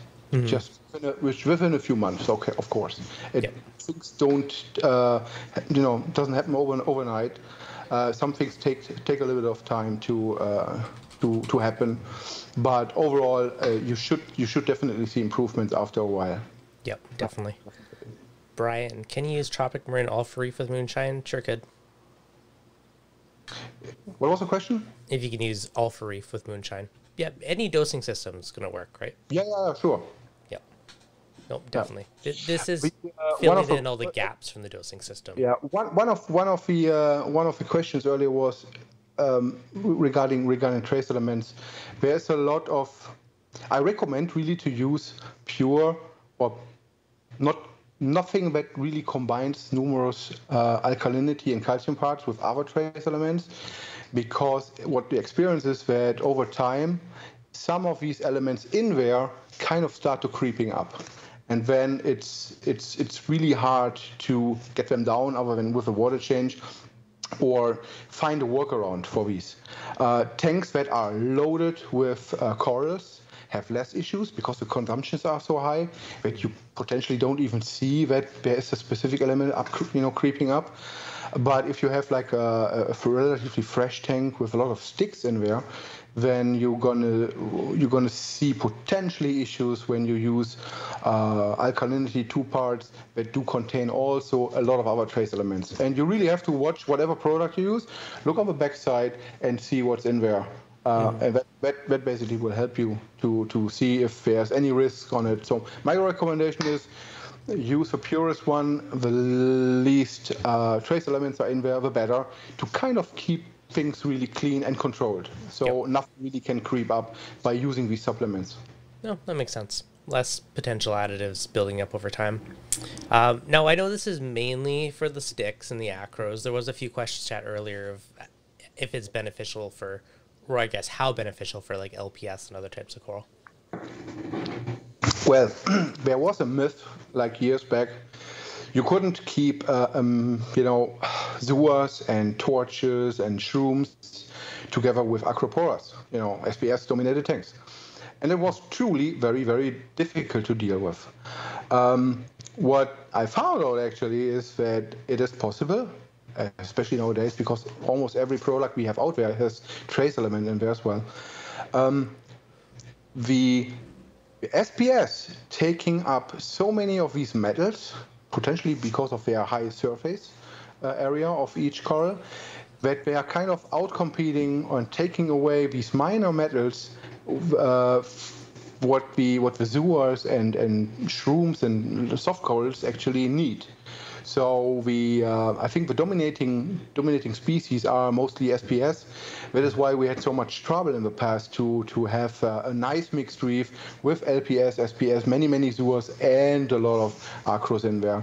So what I would with that was actually one of the reasons why the um, the four daily elements are dosed on a daily basis. That are but these are really in there every day in small amounts and that's all what is needed. And mm-hmm. unfortunately, they they going away so quick that you have to do it ideally on a daily basis. Yep. So, Unless you're going to go on vacation, you have two choices: you leave them off for a week and let the tank behind, right? Or just dose in advance, sort of thing. That means you buffer up for like two, three days, and when you when soon you're going to come back from vacation, you keep continuing as you do.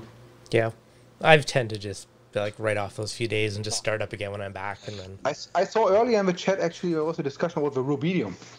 Um, and, uh, well, rubidium is an element that, again, there's nothing proven, there's no scientific evidence out there, but there's so much observation and feedback on rubidium that it makes soft corals fluffy. It ma- makes you know LPS puffing puffing up.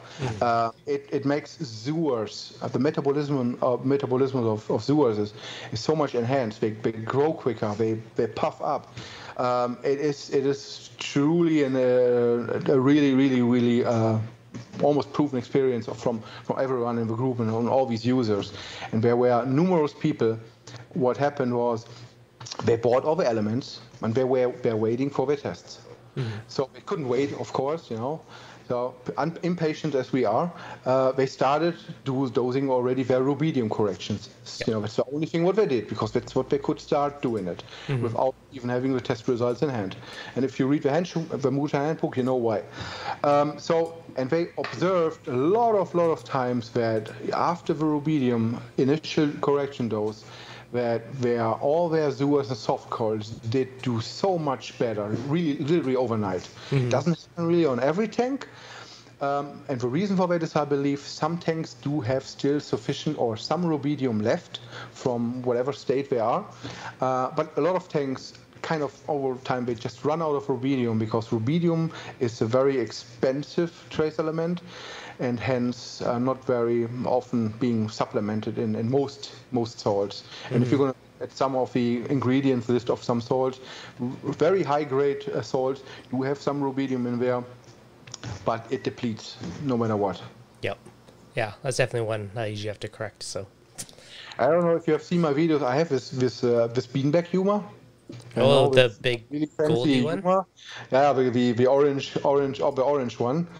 And every time I do my uh, actually I, I started doing um, like weekly corrections, daily corrections, and monthly. And um, daily is doing the, the best. And after after dosing, like five minutes after, you can really see how the bounces are all popping up and really mm-hmm. coming up. And that is the perfect timing. Where take a picture of it, so it looks so awesome, right? And it gets uh, whatever four million clicks on YouTube. yeah, it's a beautiful mushroom. or wherever. Yeah. So yeah, yeah rubidium is is, is is is having some very significant impacts and effects. Oh, I found the I just found your video on it. Pulled it up. The colors on that thing are crazy. Yeah, it's, it's really nice. Yeah, it's definitely a beauty. Um, uh, there was a few questions the last few minutes asking about the blocks and the bricks, and some of them were asking about aluminum. But what's what's your thoughts on those media bricks for basically adding more surface yeah. area? Well, there's a lot of biomedia out there, right? Mm-hmm. And um, a lot of these biomedia, they utilize something to basically like a, a, like a, like a cement, right? To, mm-hmm. to keep the, the structure and the materials together. Uh, without naming, calling out any brands, um, there are some media that as soon they are getting too dirty and too anaerobic, mm-hmm. it seems like they're becoming too acidic inside, and that is potentially what's causing an oxidation process so that the material inside will start to dissolve and you kind of see that when you when you take your thumb and you press on this bio blocks or whatever you can see you can start to you know to, to smash them in your fingers yeah. Um, something what I also observed is uh, Pond, which I am a big fan of usually. Yeah, that's a popular one. Pond is a great piece of filtration media for reef tanks. It is not promoted to be used for reef tanks by the manufacturer, really, because it has some some some risky side effects. One of them is if if Siporax becomes too dirty and becomes uh, or gets into an, a really anaerobic environment like a reactor, mm-hmm. uh, and it has not enough flow, and you know it clogs up too much.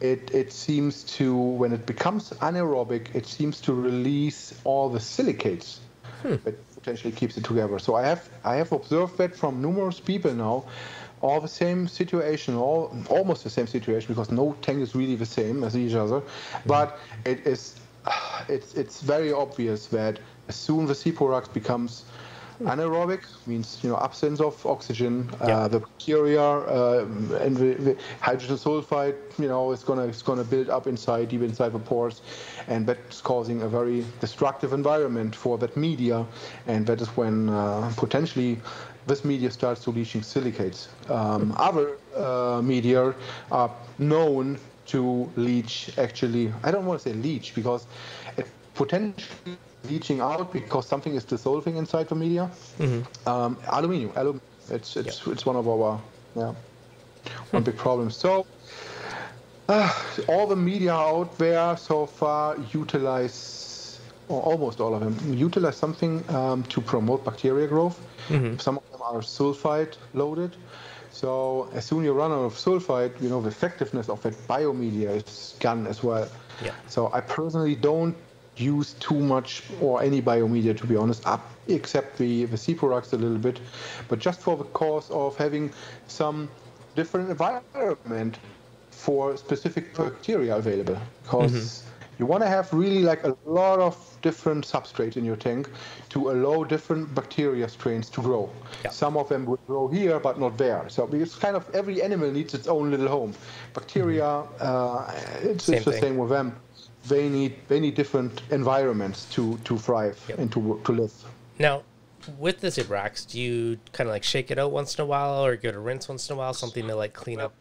to The- prevent that the best- situation? The best way, yeah, yeah it's, it's very controversial. There is, uh, the, in my opinion, the best way I arrange Siporax is actually you you stack it in a basket, and you put it not in the vertical, you put it in the horizontal, and let the flow going through this way. And uh, that's typically possible, um, like in, like between right where the entry is, where all water goes in after the socks, going towards the next stage where you are your skimmer is or whatever, or uh, try to put it somewhere in a sump section with a power head that it kind of you know flows the water through these columns of of Siporax. Yeah. Um, I was using Siporax as well. In in uh, I took an old uh, Vibe reactor, and you know Yeah. took half an eye to stack it all up nicely, and uh, that worked really well. It was a lot of flow going through this reactor, and I ran the Vibe function.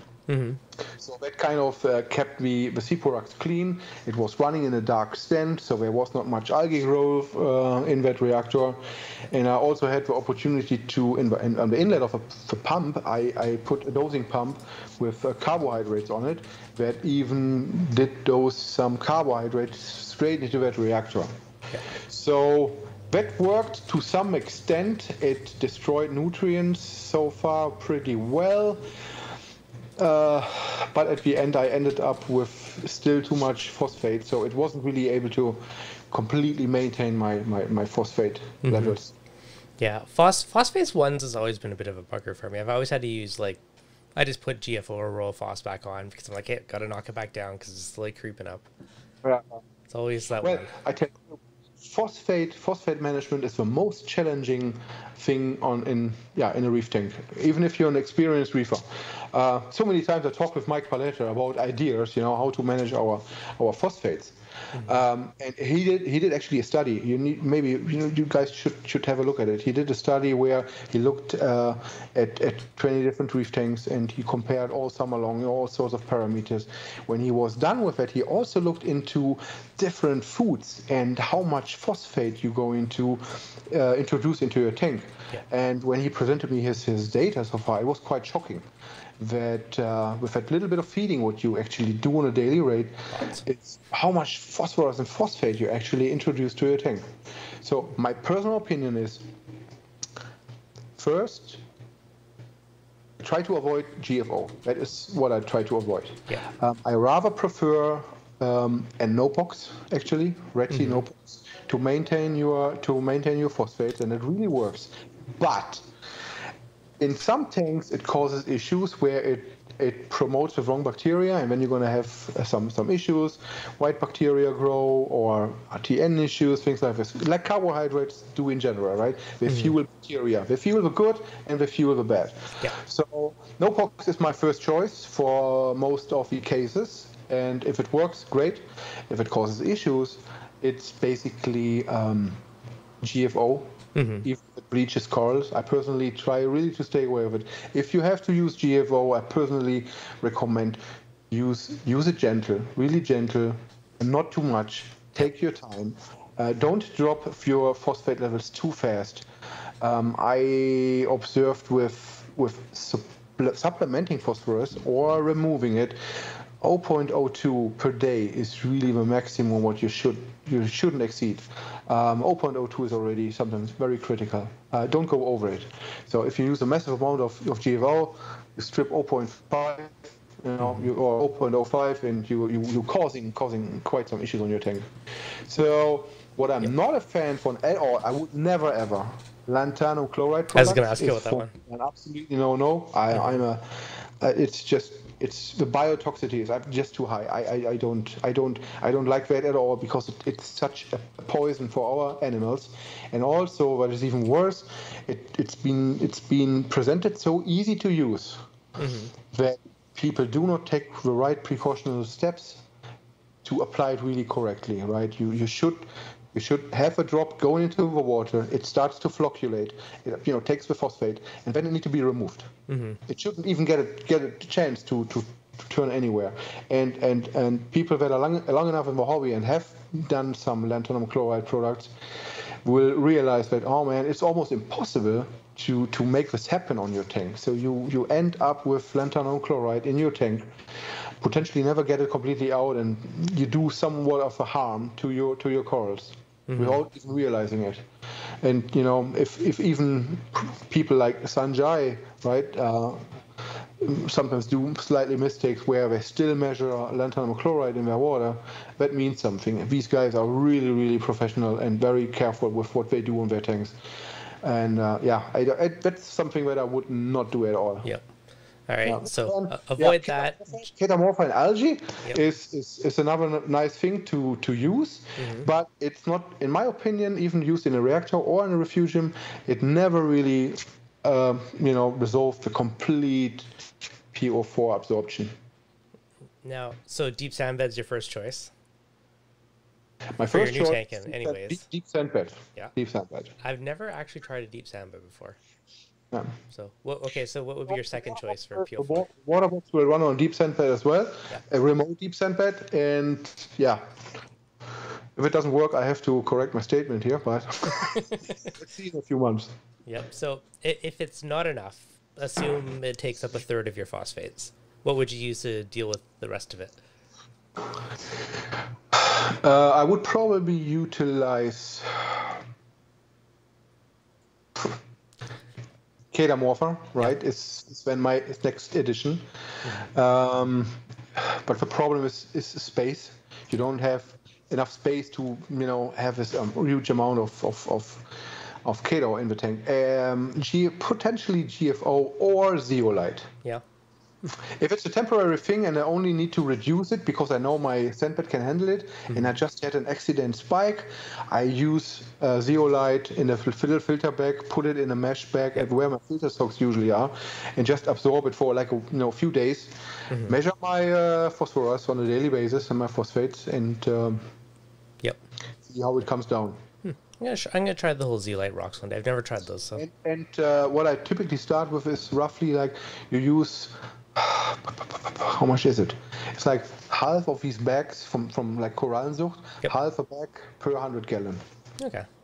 It's uh it's a good amount you can start with. Okay. And you put it somewhere in a high flow area, so they remain clean. Similar mm-hmm. to Siporax, the uh, zeolite surface need to remain clean. So as soon we have bacteria slime on top of it, it makes it a little bit less effective yep. from the absorption capacity. It blocks all those pores. No, that makes sense. Um, okay, other random question for you. Uh, you said you use mesh filter socks. Oh, your cardiac can answer, I guess, using the power filter. Um, I was gonna say if you're in the camp of like crystal clear water, filter all those particles, or if you like them floating around for the corals. Well, like I said, it's a little bit counterproductive, right? Mm-hmm. I, I, like the crystal clear, the crisp water, um, but the crisp water is still loaded with particles, food particles, large food particles. Like you know, like what, what I used to use a lot is uh, Tropic Marine Phyton. Yep. Uh, can you see that? No, it's focused on your face. Phyton, Phyton and Zooton, these two products, um, I recently started to use, and they have a, a really, really well reaction on most of the corals. Um, try to use a lot of these dry foods because um, mm-hmm. I'm using vitamins as well. But these two dry foods causing quite a great, uh, uh, yeah, feeding response. Nice. So yeah, again, it's counterproductive. You do strip out stuff with a power filter. Yep because you want to have a water clarity, mm-hmm. you want to have this visual appearance, this nice one, and you want to have a light penetration and the best out of your spectrum. But at the same time, you know, it's also taking out those little bits of good stuff as well. It's, it's a trade-off, and I it, it is a trade-off. Yeah. What uh, what the nice thing is of a power filter is, even if it get you know you have it running in your tank, if you turn it off, mm-hmm. nothing's going to happen. It is mm-hmm. aerobic at this point in time. It doesn't start fouling, or I mean, start fouling, of course, inside, but it, it doesn't really cause an issue like an, like a carbon reactor. If you have an activated carbon reactor and you turn it off mm-hmm. for half a day or a day, you're going to be in trouble when you restart it. That power filter is is is still in the water motion of your yep. tank, so there's nothing really badly happen with that power filter. Yep. So what when when the tank looks too clean and it, I I you know I lose all my food particles within an hour and they're all gone, mm-hmm. then I still can say you know Apex put this thing on the timer, and uh, when I'm at home and I want to see the tank, you know you're gonna you're gonna stop. Yep. No, that makes sense. I if I did want to probably hide it in the sump just so I didn't see the big thing on it, but and I and I actually did uh, I did some video footage for my mm-hmm. YouTube channel where I put uh, where I looked under the microscope the outside of a power filter mm-hmm. and the inside. I took the water stream from the running pump, put that under the microscope, and then you can see before and after. Yeah. Right, and you can see all these microorganisms that are not there anymore, and whatever's going through, even in the inner part of his of his filter fleece, mm-hmm. uh, you can see it's all dead. It's not moving anymore. Yep. So it's um, kind of so. shows the effectiveness. Nice. And they also work extremely well for new tanks and clearing out all the sand clouds. yeah, actually, while I was filling up my water box tank, yep. I put a, a, a, power filter in there just to get rid of all this dust, you know, what's always mm-hmm. landing tank. Yep, exactly. I've done my little DIY ones to deal with that too, and clears your water no time, which is great. Yeah. Yeah, and if people uh, like don't like that power filter in the display tank, um, give it a try. Put it in your sump and, and let it run there. The thing is, it steers up the sump. It means it cleans the, you know, it steers up the detritus. It makes your sump a little bit cleaner, uh, which reduces the amount of, of, of, acid in your tank as well, mm-hmm. and uh, helps the biology a little bit. If you keep this detritus away from your from your from your bottom areas so, without substrate, hmm. and, and, you know, and it, it keeps stuff clean. So would would the detritus in your sump add to the acidity of your water? Well, I, yeah, I barely could understand you. Oh. Kind of, it okay. was bad. What repeat with, Oh, because you're saying it will help with the acidity. So would the tri- detritus and all like that bit sitting in the bottom of your sump would that add to the acidity of your tank? Well, I read a couple of things uh, about biology and and and how bacteria works and how like certain foul you know acids from fouling process are developing mm-hmm. and um, when you do have these decomposing organic material just sitting on the tank bottom and it just sits there mm-hmm. um, it, it sits there for a long time. People see typically like an accumulation of that stuff, yeah. right? It, uh, it it it decomposes not well and not fast enough. Okay. Um, if you have it within like a certain media, like live rocks and or sand or, or gravel, it decomposes faster, and um, that helps to to to to the, the, the, breakdown process. It helps the breakdown process. If that stuff sits there to, for too long, um, what I understood from these articles, they were really really complicated and hard to read, um, that there are certain foul gases are produced that causing also a, like a sort of an effect on your on your pH on your tank due mm-hmm. to acids that are to being produced yep. by these bacteria as an as an yeah well as a, a, bad byproduct. All these little things you wouldn't consider, but yeah, I, it makes sense when you think about it. But it's just off first hand you would think. The reason why uh, where also you always use like a high amount of aerobic filtration mm-hmm. in order to get the ammonia processed as best as possible. And the best way to do that is aerobic filtration. Mm-hmm. Means live rock is not a good thing because it's that's it's it's relatively small on the surface area. The best way is these days, or you know, the old days, is like trickle filter type of things. Mm-hmm. which nobody has these days anymore, and are really hard to maintain. But these biofilters, where water just goes through a, um, um, a self-cleaning biofilter system, that is that is helping a lot to get ammonia reduced and mm-hmm. nitrate reduced into nitrate. Yep. Nice. Yeah. Quickly. Quickly, quickly is the key. And that actually helps also the pH. Mm. Because the more ammonia you have in your tank, the, the worse your pH is. Worse suppressed. Now, I'm not gonna lie, I haven't we tested ammonia. Ammonia levels really in ultra low ranges. We do not talk about ammonia in like when you do the titration. Mm-hmm. Um, we're talking about really like ppbs below pp, very very okay. low low ranges. Yeah, I was gonna say that's not something I don't think I've tested with since I originally cycled it. It's been ages. Yeah.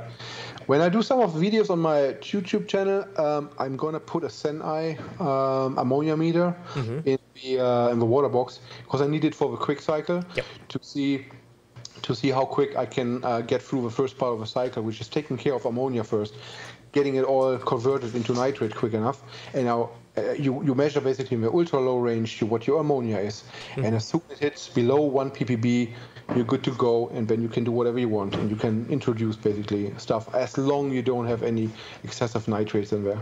Yep. No, definitely. So what's your YouTube channel? Reef Moonshiners? Is that what- Yeah, Reef Moonshiners uh, Yep. on YouTube. That's, that's the channel it's going to be. And the reason for that channel is actually I have so many followers and so many users. Um, they need mentoring, right? And I, I can mentoring like 20, 30, 40 people. Uh, but now it's thousands of people and getting you know my way out and helping people uh, on certain subjects that are repeatedly the same the same questions over and over and over again. Um, i think the best way to do it is to yeah pu- publish videos on it and just 100%. through that done. And you know when people ask a question in the group uh, hey how is this? How we do that? Blah. You just you know post the link you know to a youtube video. Yeah. they're gonna watch it and they're gonna have enough information how to how to deal with it. And all that stuff actually is supposed to handle uh, subjects that are outside of a moonshiner's method itself um, but are still you know challenging thing in the uh, in the hobby, basically, especially for, for for new for new reefers. What I noticed over the last few years is that a lot of literature is is going away, and and and Facebook and forums and Reddit and all this good stuff, you know. Is, is taking over and it's what educating people right now. We, we're living in a, in a very fast moving world and people barely have time to after work to read books and you know get into this you know like in the detail uh, like you know the old school reefers normally would do right? Uh, Yeah, we we had to we had to do, learn everything. We had to build our own plumbing had to had to read a lot and we're little bio bioscientists you know almost uh, in order to run your reef tanks. Nowadays you go to a shop you're going to have everything ready you're going to buy it it's going to be shipped to your house and you just connect four pipes and a pump and there you go. Put a light on top of it and here's your reef tank but there's a lot of experience missing uh, what these people will never learn really. Other than when it's already too late uh, when you have almost a crash or whatever and you lose corals and animals. So to prevent that it's it's there's a couple of subjects that need to be handled and mentored Yeah. uh, to this new generation. And i think uh, videos and articles on one website is, is the way to go. No, I, I I agree. I find majority of people these days will just YouTube so I don't want to be a YouTuber, kind of uh, doing my, you know, weekly. You're- weekly you're turning into it. It's coming. and stuff like this.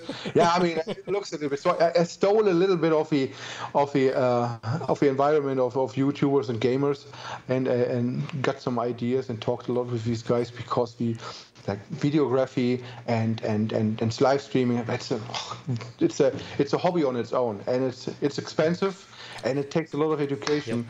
So I I did the same as people uh, did with me. You know, I just asked the, the pros, and hey, how do you do this? How do you do that? What what? How do I get progressively pretty quickly without really learning for years, right? Uh, and I think um, it, it pays back. You, you give and you take.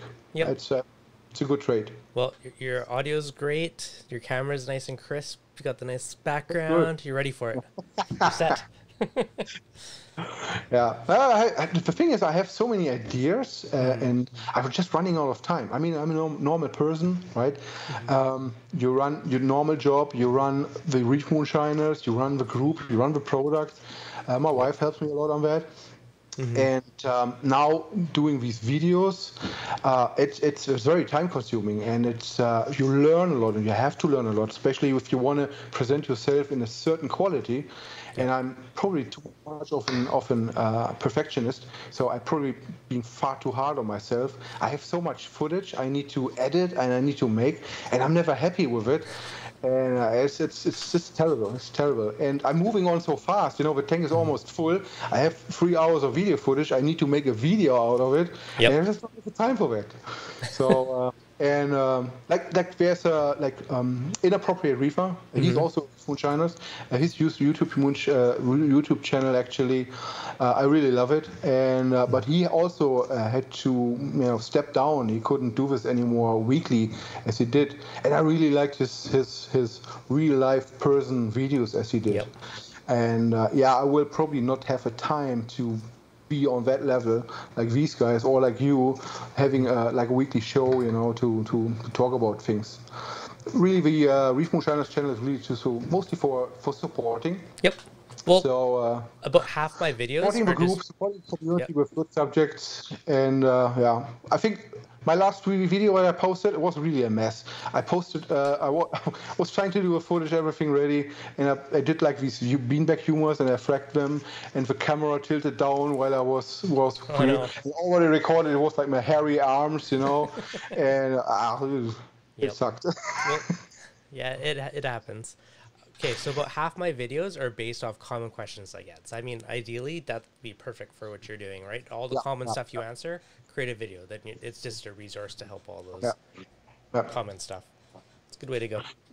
Yep, I think so. I have uh, quite a few things. In first, what I want to do is I want to do an introduction video of a re- like a quick a quick guide of, of how Reef Moonshiners works. Yep. The second video is probably going to be about the water bags, how to cycle, and things like this. Kind of to get this thing done, so I have space on my hard drive again. And then I want to have a comprehensive video, which probably going to take like an hour or 2 maybe even multiple parts about all the stuff what we talked here briefly. I want to really go into the detail, have an edited video ready where a person can sit in front of of, of YouTube, you know, on this big flat screen TV, watch watch the show and watch the video, and after he watched the video, he should be able to, for the most part, fully understand the method, the Yep. product, what's all behind it, why to do this, because nobody really asks why to, and, and how it really works. Just everyone's asking, you know, you know, how to apply it, but nobody really asks what does it really do to your corals. Um, So what does it do? Well, it, it improves the coloration. Yeah. Actually, you know, you will be surprised. I have barely anyone asking that question. Why does it work? And um, I, what I what I would what I sometimes do, I send links. Um, there is an there is a, an article series from Dana Riddle, and it's called Reef Nutrition, Part One to Part Six. Strongly recommend to look that up. Okay. Um, he did a fantastic job and explained some of the requirements for corals in terms of chemistry, light, food, even amino acids, even while I'm not a friend of amino acids, to be honest, uh, and some other stuff. And it really explains very nicely what some of these elements do to the coral. Uh, because all what they do, they are needed in order to photosynthesize uh, and make the met- metabolic processes working. Uh, in order to do between the coral host, which is the animal, and their tissue, which is a plant, there's a lot of processes between these two organisms. And they all need something. And to be honest, a lot of these processes and what these elements do are not even fully understood, at, even at this point. They kind of have an idea, and there are some observations and recommendations, but what's really fully going to happen inside the coral is still uh, a very unknown uh, thing for, for especially for the reef keeping community.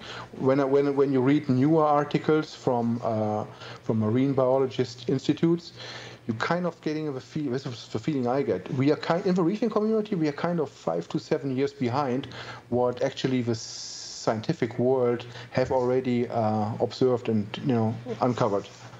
Kind of what uh, what what it feels like. Yeah. We're doing right now, we're going to do a lot of wake up on microbiome, bacteria uh, in the water, on the coral, in the coral. Uh, that is going to, you know, cause quite a lot of confusion.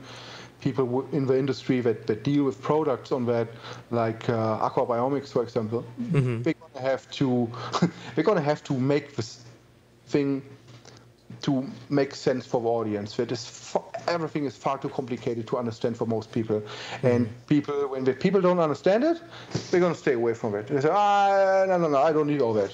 Yeah. My my body tank looks great. I do the same as he does. You know?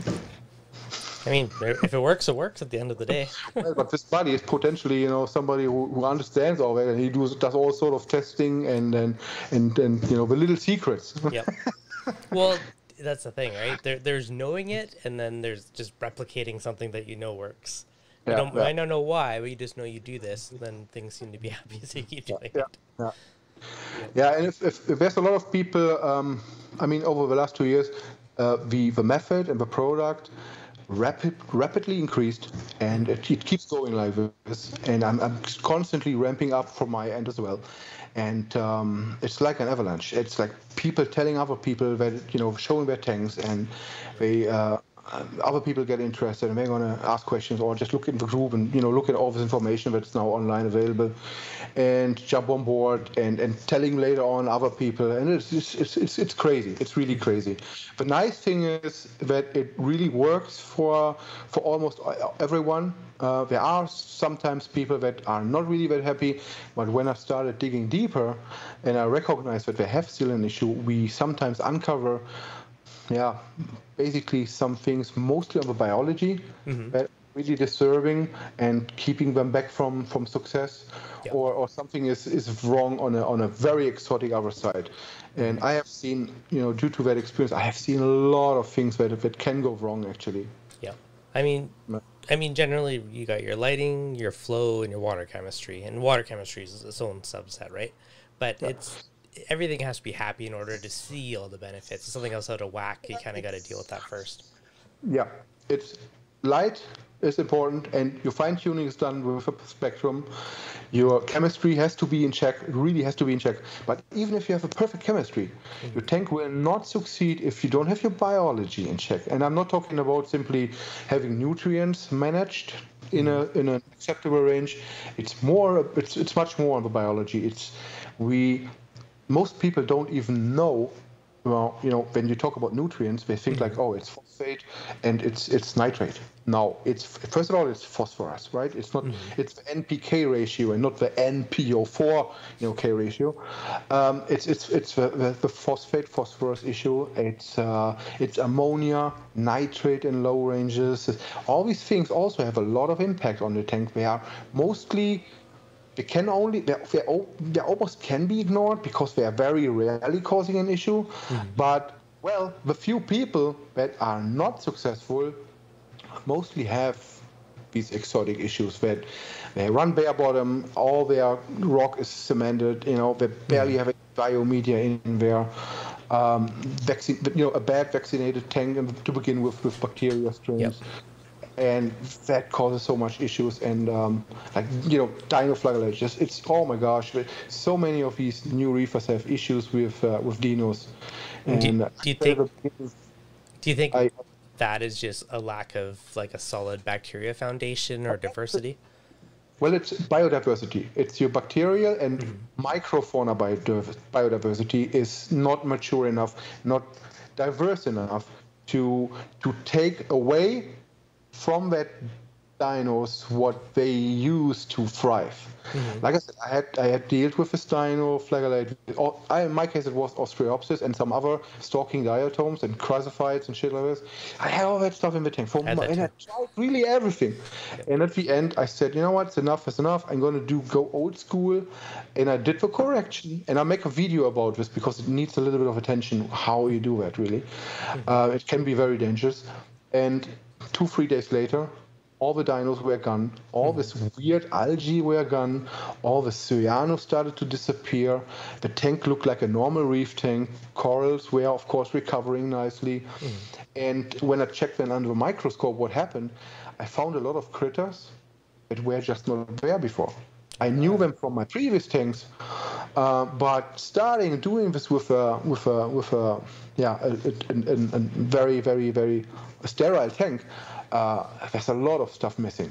A lot of stuff missing. Yeah, I think it takes a while to build up biodiversity or And break it in through frags or other sources to slowly. Well, there are some people were saying, "Oh, I started my tank sterile as well with dry Dryrock and is as happy as it can be." Mm-hmm. Well, the last case I, I had, I was really questioning that, and uh, I found out at the end this guy had yes, it was a sterile tank, all Dryrocks, uh, just quick cycled, and then he put in maricultured corals, but tons of maricultured corals in there, and each coral had a big block of uh, reef cement on it, come mm-hmm. from the ocean.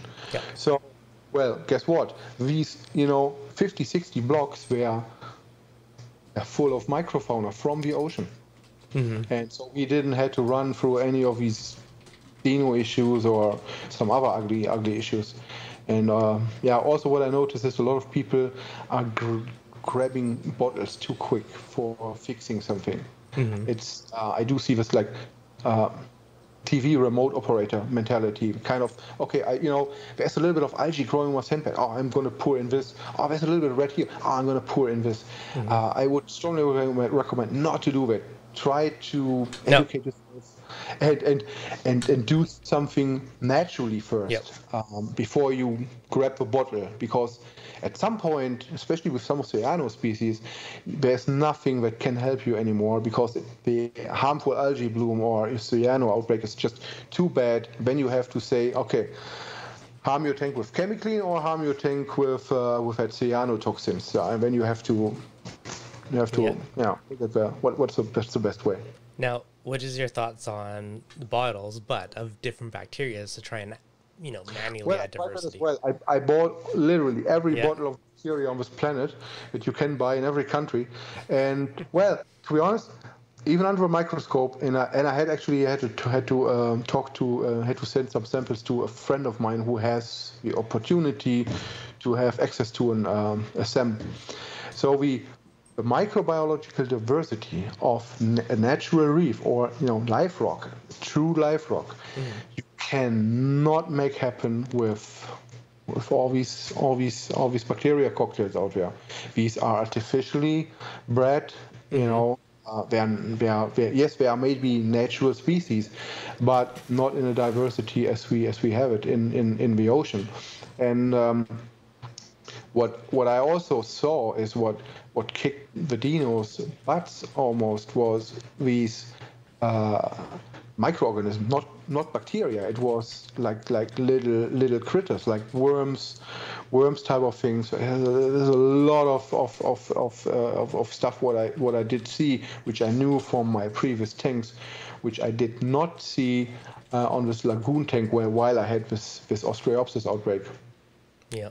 So it's it's bacteria mm-hmm. and it's also microfauna, and, and uh, yeah, it's it's it's a lot of animals in there, a lot of critters. Yeah.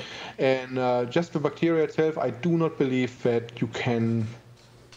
There might be some lucky guys that, that, that make it happen, and their, mm-hmm. their tanks are actually never really exposed to the really bad bacteria for some reason because they are really, really clean. But as soon bad bad frag comes in, you know, yep. you have a bacteria, yep. and then there you go, party starts. Um, there, yeah, it, it's interesting because you could bring something bad in on a frag, but you could also bring in good diversity on like, yeah, a checker. Yeah, yeah. It's it's like when when I had the the Walt the Walt the Walt Smith Fiji mud. Mm-hmm.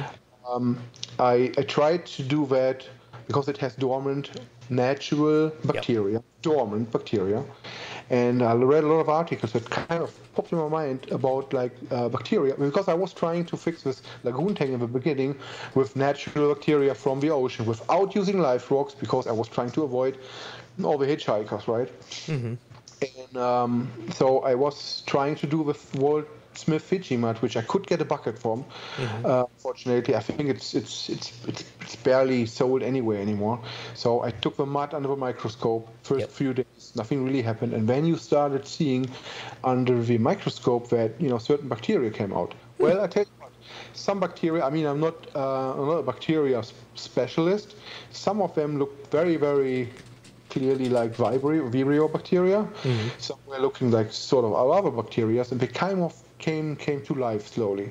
So, but yeah, again, it wasn't enough really to to fix uh, the sterile tank to make it natural. Mm-hmm. because there was not enough bacterial diversity and species in there to to establish a natural environment. And it was and think about it, it's all the dirt that goes in the mud at the end, right? That's mm-hmm. what resides there. We we bury our stuff, and when we're gonna bring it back up, it's not necessarily the good stuff it comes back up.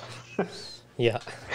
So it was. It didn't work actually. It it, it helped mm-hmm. to build up more diversity for sure. And I plan on the new water box as soon as it's running. Uh, I'm probably potentially going to put in like I'm going to take a, like um, like one of these P cups, these yep. specimen containers. I'm going to fill it all up uh, with with a fishing mud, and I mix mm-hmm. it in salt water, and I just pour it into the tank and let it all you know that go around. Too, I know lots of people that will just dose mud to the tank and let it just go everywhere. Turn off my power filter and then I let this, yep. this the mud settle everywhere. So these dormant microorganisms can uh, basically wake up mm-hmm. after. It, like I said, it started with like two days, four days, and uh, I talked to some of the uh, microbiologists here in the US that, that dealing with bacteria cultures. They told me that it can take up to like three, four weeks hmm. before even the last ones yeah. going out of frequency. I have it, it's so hard to gauge how much like some of the stuff actually does on the tank, but I did about a month or two ago added a bag of miracle mud and a bag of the Aquaforest mud to my sump, and then I sent off one of the DNA tests a few weeks later. So I, not now oh, ideally I would have one before and after to compare it, which I don't sadly I just have after, but I'm just curious to see Okay, oh, so how many weeks? How many weeks after you put in that that that that aquaforest mud, which is probably the same mud from the Fijis as the Walt Smith one? I don't know, but I yeah. assume it's. How much time was between seeding and taking the sample? I will scroll back my videos and figure it out later because I, okay. I, I know what live stream I decided to do it afterwards, and I know when I did the video to do it back. Okay. Yep. Okay. Oh, it's an it's an interesting subject. Mm-hmm. Yeah, it's uh, it is a great subject. But yeah, uh, three to four weeks. So yeah, that's. Okay, that's good. I, yeah. Yeah, I'm gonna say it was probably three weeks is my guess without knowing 100. percent Did you send a clean water sample out, or did you scrape off both from the bottom? Uh, through it up and then catch it. Yep. Um, so one of it was a water sample from the top, and you put it through a little filter pad. Yep. Then you do some fix it stuff to do it, and then another one you scrape off like your return nozzle somewhere dark but surfaces where there's high flow. Well, well. I don't know. We'll find out in a couple weeks. that goes back to where do certain bacteria live, right? Mm-hmm. Um, certain bacteria have you know certain environments where they live. so if you find potentially you find one species in a piece of piece of live rock or piece of rock, you're going to find it much more than you know when you scrape it off of a piece of pipe mm-hmm. potentially. Yep. Well, it's a, it's a it's a it's a it's a picture. It's a start. Yeah, I don't know. It'd be interesting. It's still all new information, but the more you find, I think it's uh-huh. it'll evolve the hobby eventually as we uh-huh. learn more. But it's still young.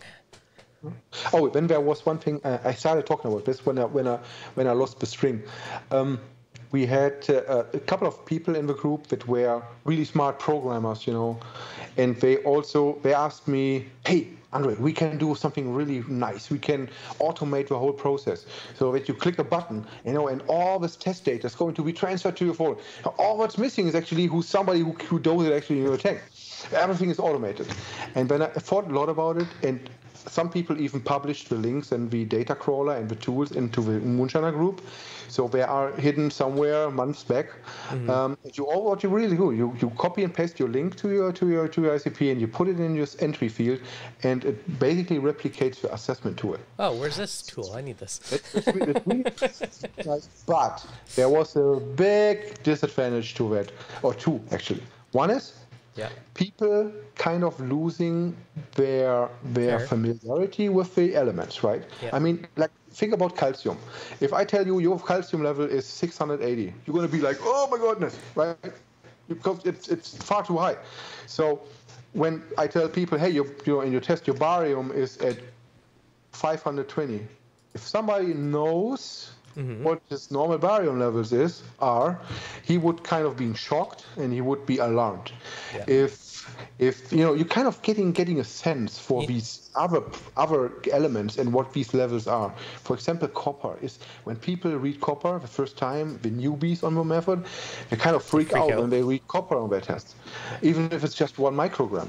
And I tell them, guys, don't don't worry. You know, as long we are stay below 10 on a on a one-time case, it's it's okay. You don't have to worry about this. 10 microgram is potentially gone uh, next month anyways if you don't do a water change. However, if it keeps crawling up or just barely moves, then you may want to have to look, you know, for certain equipment that's rotting, pump failures or whatever. Yep. So that's one thing. You kind of getting a better understanding of, of your of your trace elements levels, and you mm-hmm. get a sense for it, what it really means. And then the second con, you know concern was, since ATI, you know, I'm a customer of ATI. Yeah. I'm not. I don't have any collaboration with them. I there's no affiliation with anyone. So when they change something on their end and this data crawler screws up, bugger everything up. it, it might my concern was it will it will do something in the tool and the people not understanding what they're doing because they then they're not concerned about a 680 you know calcium level Yep. they're going to start dosing certain things just because the, you know the tool said so and that was one thing what That's uh, fair. what what I don't like. And then honestly, there was one case weeks later, one case somebody asked me, "Hey Andre, I need to dose so much fluoride. Is that right?" I said, "Well, you know, sh- show me your show me your, your post your stuff or send me your link or your assessment tool."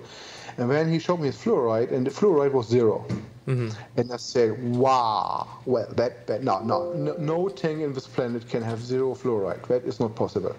So and go back to ATI, ask if that reading is correct. So he did, and they found out, oops, you know, oops. You know, nobody's perfect. The fluoride wasn't zero; it was one point or 0.9 or something. Yeah. So, if he would have done this copy and paste, hmm. his fluoride level would have been exceeded the healthy level of fluoride in his tank after the correction. Yep. So it it stuff happens. Yeah, that's- and that's as- fair. The more familiar these guys are with their with their with their levels, they're kind of getting an idea what is good, what is bad, and what is suspicious. That that's the key, right? Well, I, I think you need to have a few ICP tests under your belt to kind of get a feel for what's Yeah, normal yeah. or where stuff should be. Yeah, yeah, Yep. yeah. Yeah, another thing is, it's what's nice. You don't have to do water changes. So some people complain, ah, but it's another fifty bucks per month for the test.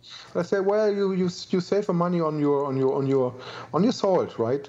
And unless you um, you don't really need to do a water change, give it a try, or you can at least reduce your water changes, and you will you will save on salt Yep. and uh, on on RODI water and DI cartridges and and and the whole chain, right? Yeah, that's also fair. and you have more stability. Yeah. Because every time, every time, whatever you salt goes back to this ratio of carbonate bicarbonate, whatever your salt mix is going to be, your salt water is, it will never, even if you adjust your alkalinity level to the same, it's not going to be quick enough converted in the same ratio uh, so that you're going to have definitely a different ratio that goes in your tank might not harm right but sometimes you people you see, you see it by yourself when you put in new fresh salt water you're going to see some of your corals going to retract their polyps you know some of the lps shrivel up things like this so there's definitely something going on uh, what they react to right? Yep. Well, that's one thing I didn't consider as much. That this being said, I haven't dose dosed in ages, but the carbonate versus the bicarbonate. Like I'm fairly certain I used to do a bit of a blend, but it's been so long that I almost don't remember anymore. But yeah, it's just that balance. Yeah, yeah. It's it's the it's the yeah they call it the carbonate carbonate bicarbonate ratio as part of a natural seawater buffer system. Uh, try to Google that. You may find some scientific articles. My experience is the real good stuff you have to pay for. Yep. To that really tells you what's going on. And the worst case, there are a couple of books on the carbon cycle. Really, some of them by, by Cambridge University. They're hard to read because they talk in, in formulas, right? Yep. So they ca- kind of giving you uh, a booklet full of formulas, and you you completely don't understand anything what you're talking about. However, they're also talking about the you know the the natural seawater buffer system, and that's what you what what you want to learn of. Yeah. And it tells you, for example, what the in reefer language what the soda ash uh, baking soda ratio is in natural seawater. And you kind of, if you do these things, you can replicate it with your own mix at home uh, to make your own uh, balanced alkalinity solution, if you, you want to say that. Mm-hmm. That is Nice. at, that's at least less harmful or less you know, reactive than just soda ash or just baking soda. Mm-hmm. Nope, that makes sense. Yep, all little things to consider, but makes a happy tank.